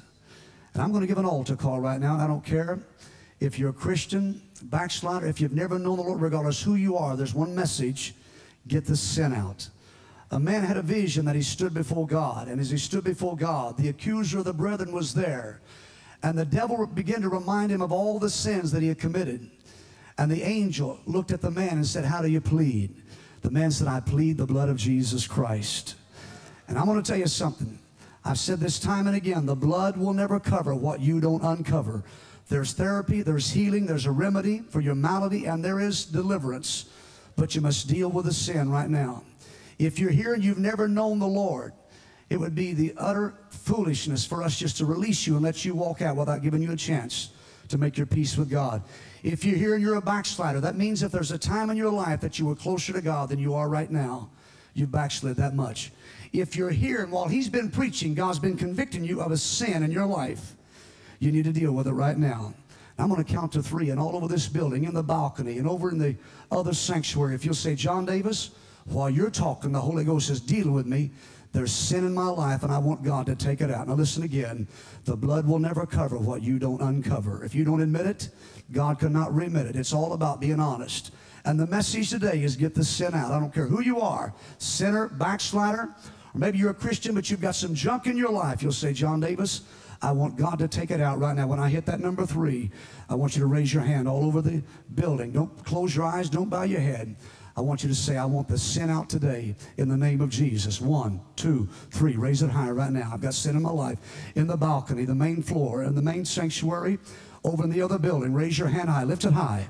Let God see it. Let the devil see that I'm not going to live with it any longer. I want the junk to come out today in the name of Jesus. And there are hands all over the building, in the balcony. And over across the street, I believe there are hands in there. I want every one of you that have your hands up right now to raise your other one up right now. Just raise both hands in the air. It's a type of surrender. Many, many people with their hands in there. Now, the rest of you, would you do the same? I want to lead you in a prayer. You're not talking to Pastor John Kilpatrick, you're talking to Father God. I want you to pray the prayer that America's been praying for five years. God's used one man, Steve Hill, to restore the message of holiness and repentance to the church. But one man can't do it. God's got to raise up hundreds and thousands of people. That's why we've got to move into the mode of prayer. With both hands in the air, say these words out loud Dear God, I love you with all of my heart. I thank you for the word today. I believe the word. I receive the word. I obey your word. According to your word, as I pray this prayer, you will hear, you will answer. Right now, in the name of Jesus, search my heart, try my thoughts, probe my conscience, take out all the junk. As humble as I know how, I repent. I ask you, Father, to forgive me for the bad I've done, the good I haven't done. Set me free. Cleanse my heart. I'm your child. I believe your word. And right now, according to your word, you cannot lie. All of my sins are under the blood, behind your back, in the sea, forgiven, forgotten, forever. I am clean. I'm right with God. I am ready. I'm ready for heaven. Ready to live. Ready to die. Ready for revival. I am ready. Satan, hear me good. Get out of my head, out of my heart, out of my home. In the name of Jesus, I am free. And I shout it, and I shout it, I shout it. Thank you, Jesus. Thank you, Jesus. Come on. Come on, give him praise. Oh, hallelujah. Hallelujah. Come on, praise him. Hallelujah, hallelujah, hallelujah. Join hands with the one next to you before Linda comes for communion. I want us to do this today. The effectual, fervent prayer of a righteous man availeth much. Because there's no sin, there's a righteous, fervent, forceful prayer going to go up. I just want you to pray that right now God will begin to surround John Kilpatrick with the partners. I told you I saw him turn down a millionaire, a millionaire who could have dropped a lot of money in his lap, and he said, I don't want it. I don't want, I'm not going to put together a mailing list to try to get money. And he walked away. I want you to pray right now that God will surround this man of God with men and women that realize the greatest power is the power of prayer. And the revival is going to spread. Come on, would you just lift your voice right now? Satan, you're a liar and you're a loser in the name of Jesus. We rebuke the powers of hell that are trying to hinder, that are trying to stop the onward progress of this mighty army of prayer warriors. Father, raise up the army, surround John Kilpatrick with the men and the women. And Father, even this building right now, the building across the street, you're raising up people that's going to stand with him. As one man with one voice, we're going to march across America. We're going to march across the nations of the world. And this revival that's been going in Pensacola for five years will spread and intensify. And lives will be challenged and changed and charged. In the name of Jesus, Father, we give you the glory. Father, you know the financial needs of Pastor. I'm praying in Jesus' name for a financial miracle. I'm believing you for a miracle of debt cancellation. I'm believing you, God, to raise up people of means and people that are faithful. Even the widows that will give. Father, you're going to raise them up. We're going to sow seed in the most fertile soil in the world, the soil of Holy Ghost revival.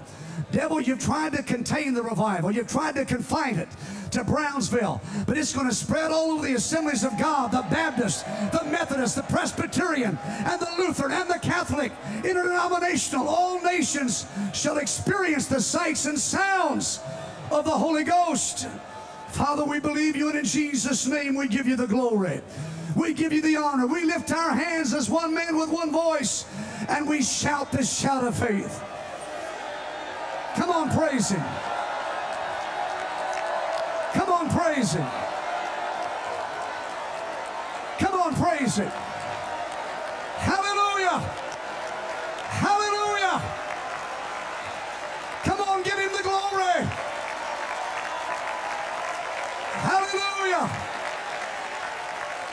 Hallelujah. I want you to shout the shout of faith. Walls are coming down. Lift your voice and just shout the shout of faith. Jesus, Jesus, Jesus. Bring America to her knees, God. Bring denominations to their knees in the name of the mighty Jesus.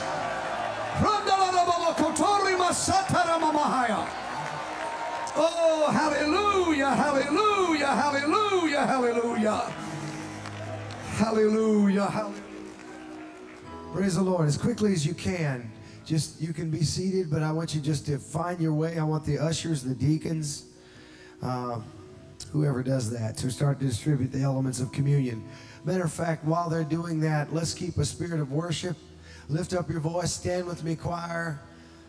I want you to prepare your heart for the table of the Lord before we leave tonight. There's something exciting we're going to do at the end of the service. Pastor has had to get on the bus, he's got to go.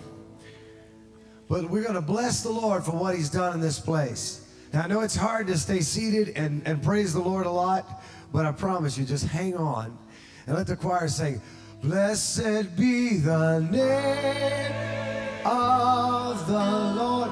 Lift up your voice and sing, Blessed be the of oh, the Lord. I will bless your holy name with all my days.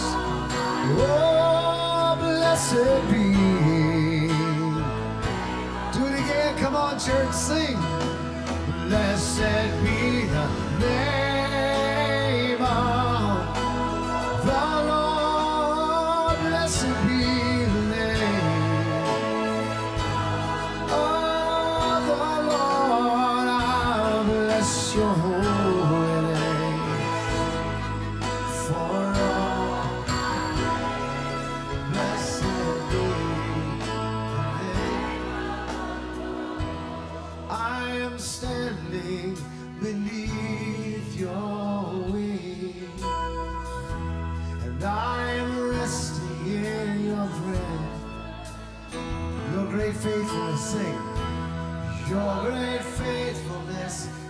is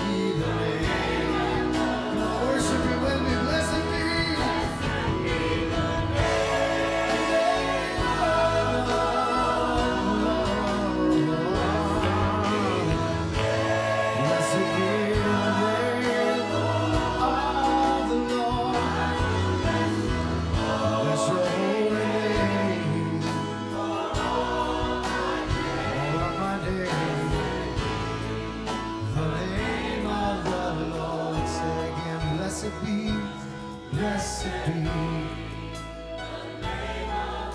One more time, blessed be the name. The name.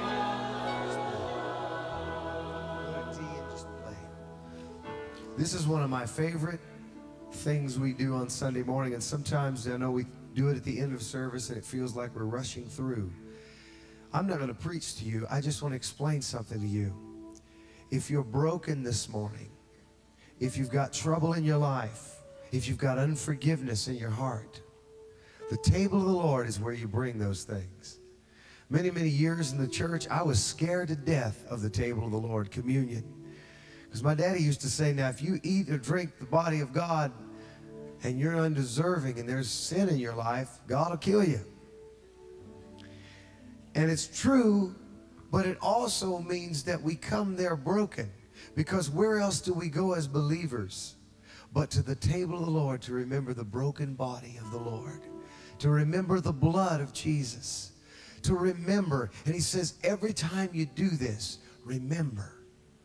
I want you to just remember right now that you're sitting in this place in the middle of revival. And today we're going to come not sorrowfully, but to remember with joy the brokenness of the Lord. If you've got broken relationships in your life, the body of Jesus was broken for those.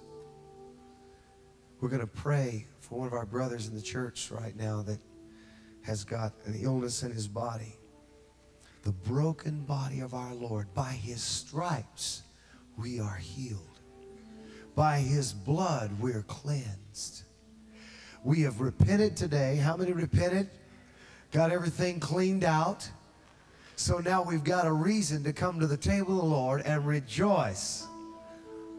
Celebrate the death, the burial, and most of all, the resurrection.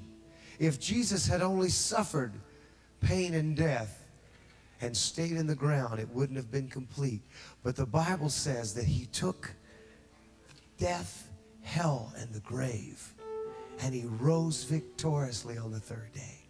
And because he lives, I'm free. Because he was broken, I can walk uprightly.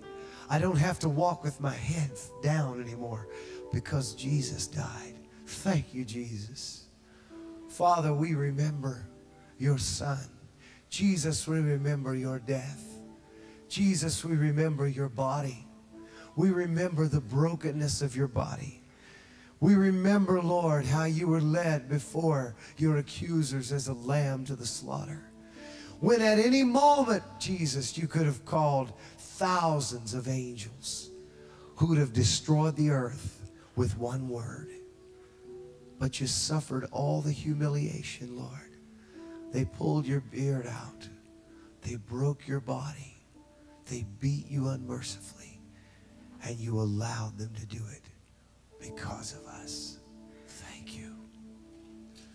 We remember, Lord, we remember your blood. We remember your body broken for us. How can we forget your great sacrifice? Oh, we humbly remember.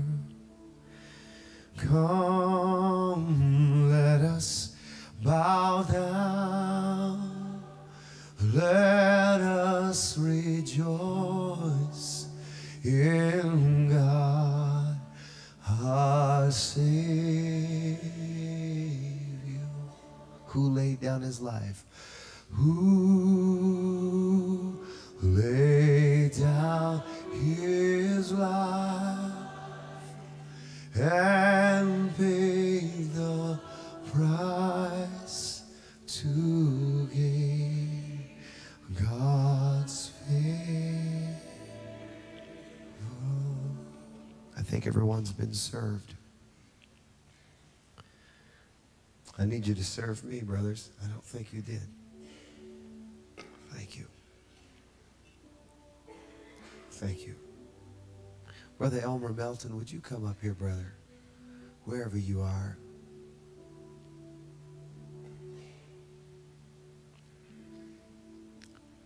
Brother Elmer is one of the mainstays of our church. I love his heart for the Lord.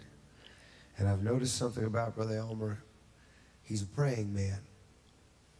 I love to hear Brother Elmer pray.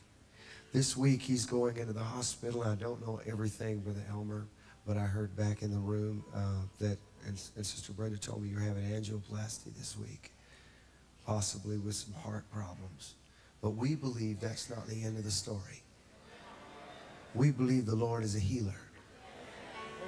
And we believe that God has put Brother Elmer in this church, and God's not finished yet. And we believe God is the healer. By his stripes we were healed. Upon himself took our afflictions. And I'm just going to trade bread with you, Brother Elmer. And I'm going to believe as we take the body of the Lord, the broken, this representation of the body of the Lord, I believe that God's going to touch you. Thank you, Jesus. Jesus. Jesus, Jesus, Jesus. We remember. We remember your body. And Lord, we ask you right now as we take this bread, that you would bring healing to our brother. God, that you would heal his body. Every passage that's clogged, every heart murmur, any problems, Lord, just cause them to open up and be healed in Jesus' name. The body of the Lord remembered. Take the bread right now. We remember Jesus. We remember, Lord. As this bread breaks in our mouth, we remember your body that was broken for us. Thank you. As we lift this cup, Lord, reverently to you.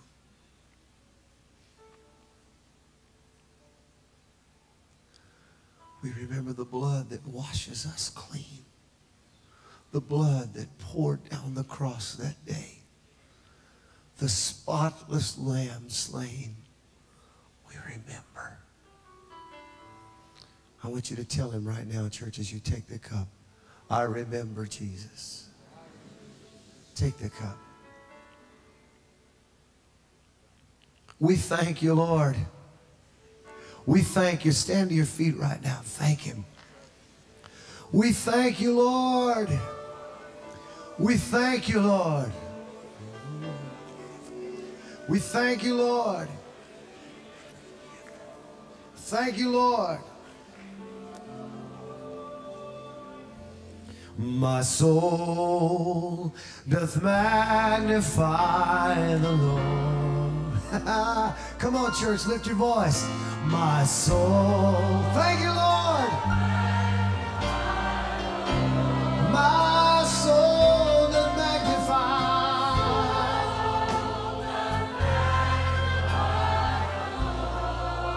And my spirit, and my spirit hath rejoiced. Go to G, come on. I want us to lift up a voice of praise. Come on. My soul.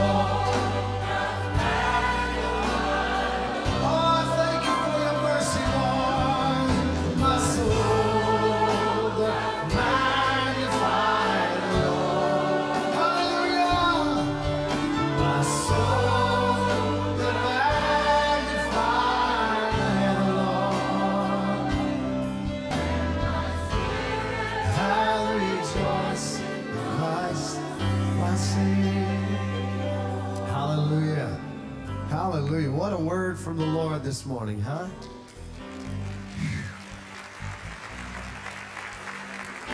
I want to encourage you as we're about to close the service. God, one more thing we want to handle, but I want to encourage you, families, fathers, mothers, children, observe the table of the Lord in your home. Don't wait till you get to church on Sunday to remember it. It's not a once a week thing or a once a year thing. It's all right to do it every day. Remember the Lord. Remember his blood. I tell you what it will do. It will keep you from sin. When you think about the cross of Calvary and Jesus hanging there, dying for you, temptation gets a lot less when you realize. Martin Luther, who was the great reformer of the church, says, Men everywhere ought always to keep the cross before them. In time of temptation, in time of rejoicing, in time of sorrow, always remembering the death of Jesus. Hallelujah. Hallelujah. Miss Brenda, here comes the First Lady of Brownsville. She's got something to do.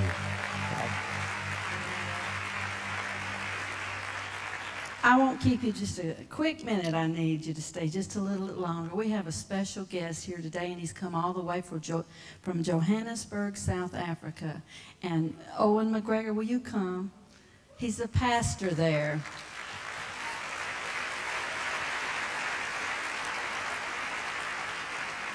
We, along with 52 people, went to uh, Johannesburg in March. And uh, this is uh, the McGregor brothers, other brother that lives in South Africa. So now you know who he is. And we sure do love them, don't we? Well, uh, as you know, uh, Awake Deborah was started here at Brownsville. And the Lord, I was studying in Judges one day, and the Lord spoke to me, and He said He wanted uh, Deborah and Barak must be one and work together. And from that, I won't go into that because of time, but uh, the the Wake Deborah came out of that for ladies, and we want to help ladies to and teach them. And, and there's just a lot of things there that we're wanting to do with the ladies that the Lord's laying on our heart to help women. But you know, every year at the conference, I ask the ladies to bring their very best offering to the Lord. I said, whatever you've got to do, bake cakes, you know, garage sales, whatever, I want your best offering. And you know what? I found out that women carry the checkbook. I mean to tell you, our very first conference, we raised $53,000. Isn't that wonderful?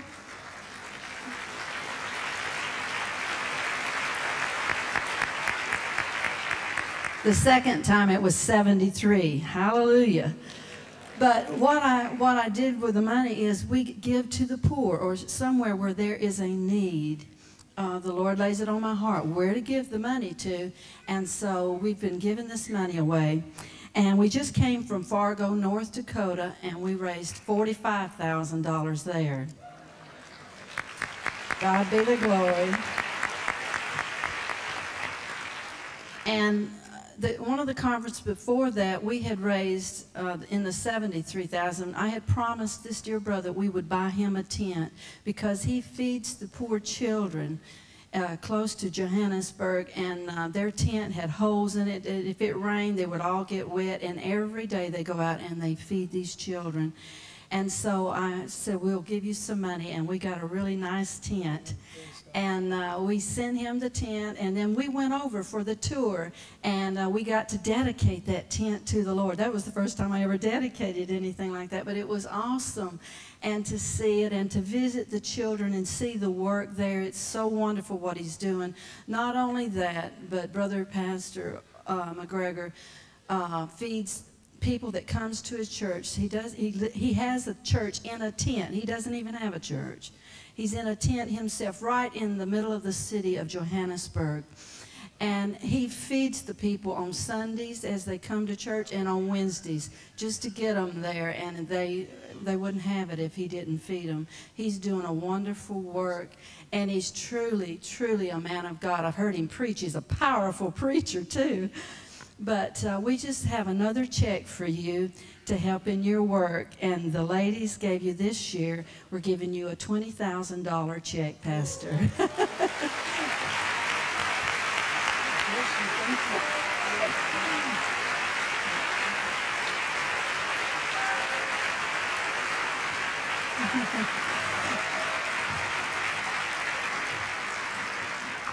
We're on your time, so we'll hurry. I know you're hungry, but uh, Pastor, I want you to hear his heart and just speak to him just a, a few minutes and say hello and whatever's on your heart. Praise God. I am overwhelmed by your gift this morning. God bless you. I'd like to thank you and Pastor and the ladies and everyone that's been involved for, for this offering and also for coming in March. I'd like to tell you that uh, during the March conference we had with uh, Brenda at, in Johannesburg, we focused on intercessory prayer and spiritual warfare. And God moved mightily. The last Sunday, we had such a breakthrough in the church. During the preaching part, when it was done, the ladies that came with, and Brenda was also involved in that, came forward and said they want to, on behalf of the Europeans, they want to, uh, to repent towards the black people for slavery and, and all that. And you know, the whole church were in tears by that time. And the amazing thing is this, uh, as everyone was repenting, our dear sister here asked for a bucket of water and she went on her knees and washed one of the old black ladies' feet in the church. That brought such a repentant spirit in the church. And one of our black ladies in the church said, now, she wants to wash Brenda's feet. And it was, it was just beautiful. We thank God for that. Also, the tent that you bought for the church in Natalspruit. Uh, God is moving mightily. Souls are getting saved. The tent is packed, and we are doing the work of the Lord. Pastor Patrick was speaking here on prayer, and I want to say this that Johannesburg is a very hard city. We might get uh, a church full of people Sunday morning, Sunday evening, weeknights, no one comes out because of the violence, because of what's going on. But since the time that you've come to pray there, we've seen that revivals are being attended better. People are coming more, getting more saved. Things are changing in the whole city. So we want to thank God for what He's doing. Amen.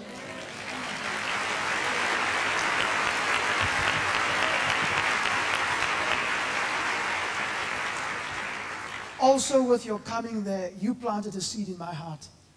With, with, you as Americans coming to Africa and, and come and bless us. Uh, I asked the Lord, that time I asked the Lord, because of the because of your coming, the Lord must give me the nations. I began to pray for nations because I realized they came to sow seeds and we also need to sow seeds. Amen. And I want to say that we are praying for you here in the United States. Every Sunday morning, we pray for one country in the world because of the seed you've planted there. And some time ago, the Lord told me He's releasing an anointing in the church so that we can feed nations also. So we thank God for that. Amen.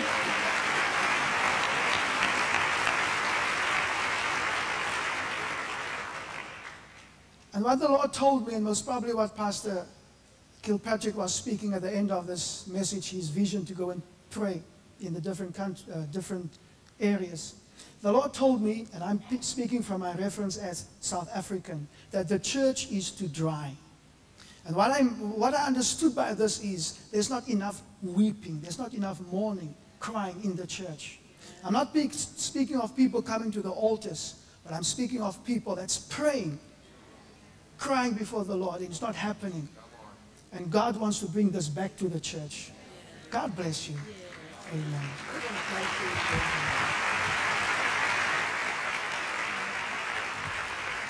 Would you like to pray for Johannesburg and his work? Let's pray for him. I'm ask John Davis if he'll lead us in prayer. I want you to stretch your hands this direction. Just believe God for a mighty Holy Ghost revival to sweep that nation. Father. Jesus, in the mighty name of the mighty Jesus. Mm, we remove the obstructions. We shatter the shackles. And right now, we just release that river anointing in a new dimension upon my brother, Father. As he leaves this place, may revival break out in Africa like never before. Father, we give you the glory. Woo, Jesus, hallelujah. Yeah, Lord, pour it on him. Pour it on him for your glory. In the name of Jesus. Fresh anointing, brother. Fresh anointing. Hallelujah, hallelujah, hallelujah. Give the Lord praise. Give the Lord praise. One more thing and then we'll sing. I want to share one more thing. I'm going to ask you really to really be praying for a Pastor and this, this prayer vision. Now look at me. You're going to be leaving in just a few moments, but folks, listen. If God's ever raised up a man to lead America in prayer, to lead the churches in prayer, I'm on the bus with him. Jack Hayford's calling him. I'm on the bus. People like Richard Roberts and other people are calling. He's very humbled. I'm proud of him, but he's very humbled. But God has chosen your pastor and our pastor to lead this nation in prayer. And I want to ask you to pray because we need financial miracles. I've watched him turn away from offerings. The man that's going to give a million dollars, he said, John, no, I'm not going after money. I'm just going after hearts. But we need God to raise up people all over this nation that'll say, we'll partner with you in revival. And we've been doing that now for, for three years, supporting his ministry. And I want you to believe God to mightily, mightily anoint him and surround him with people. Raise your hands right now and believe it, Father, in the name of Jesus. Father, just surround him with the right partners and may this revival spread. And we'll give you the glory. Give God the praise. Give God the praise.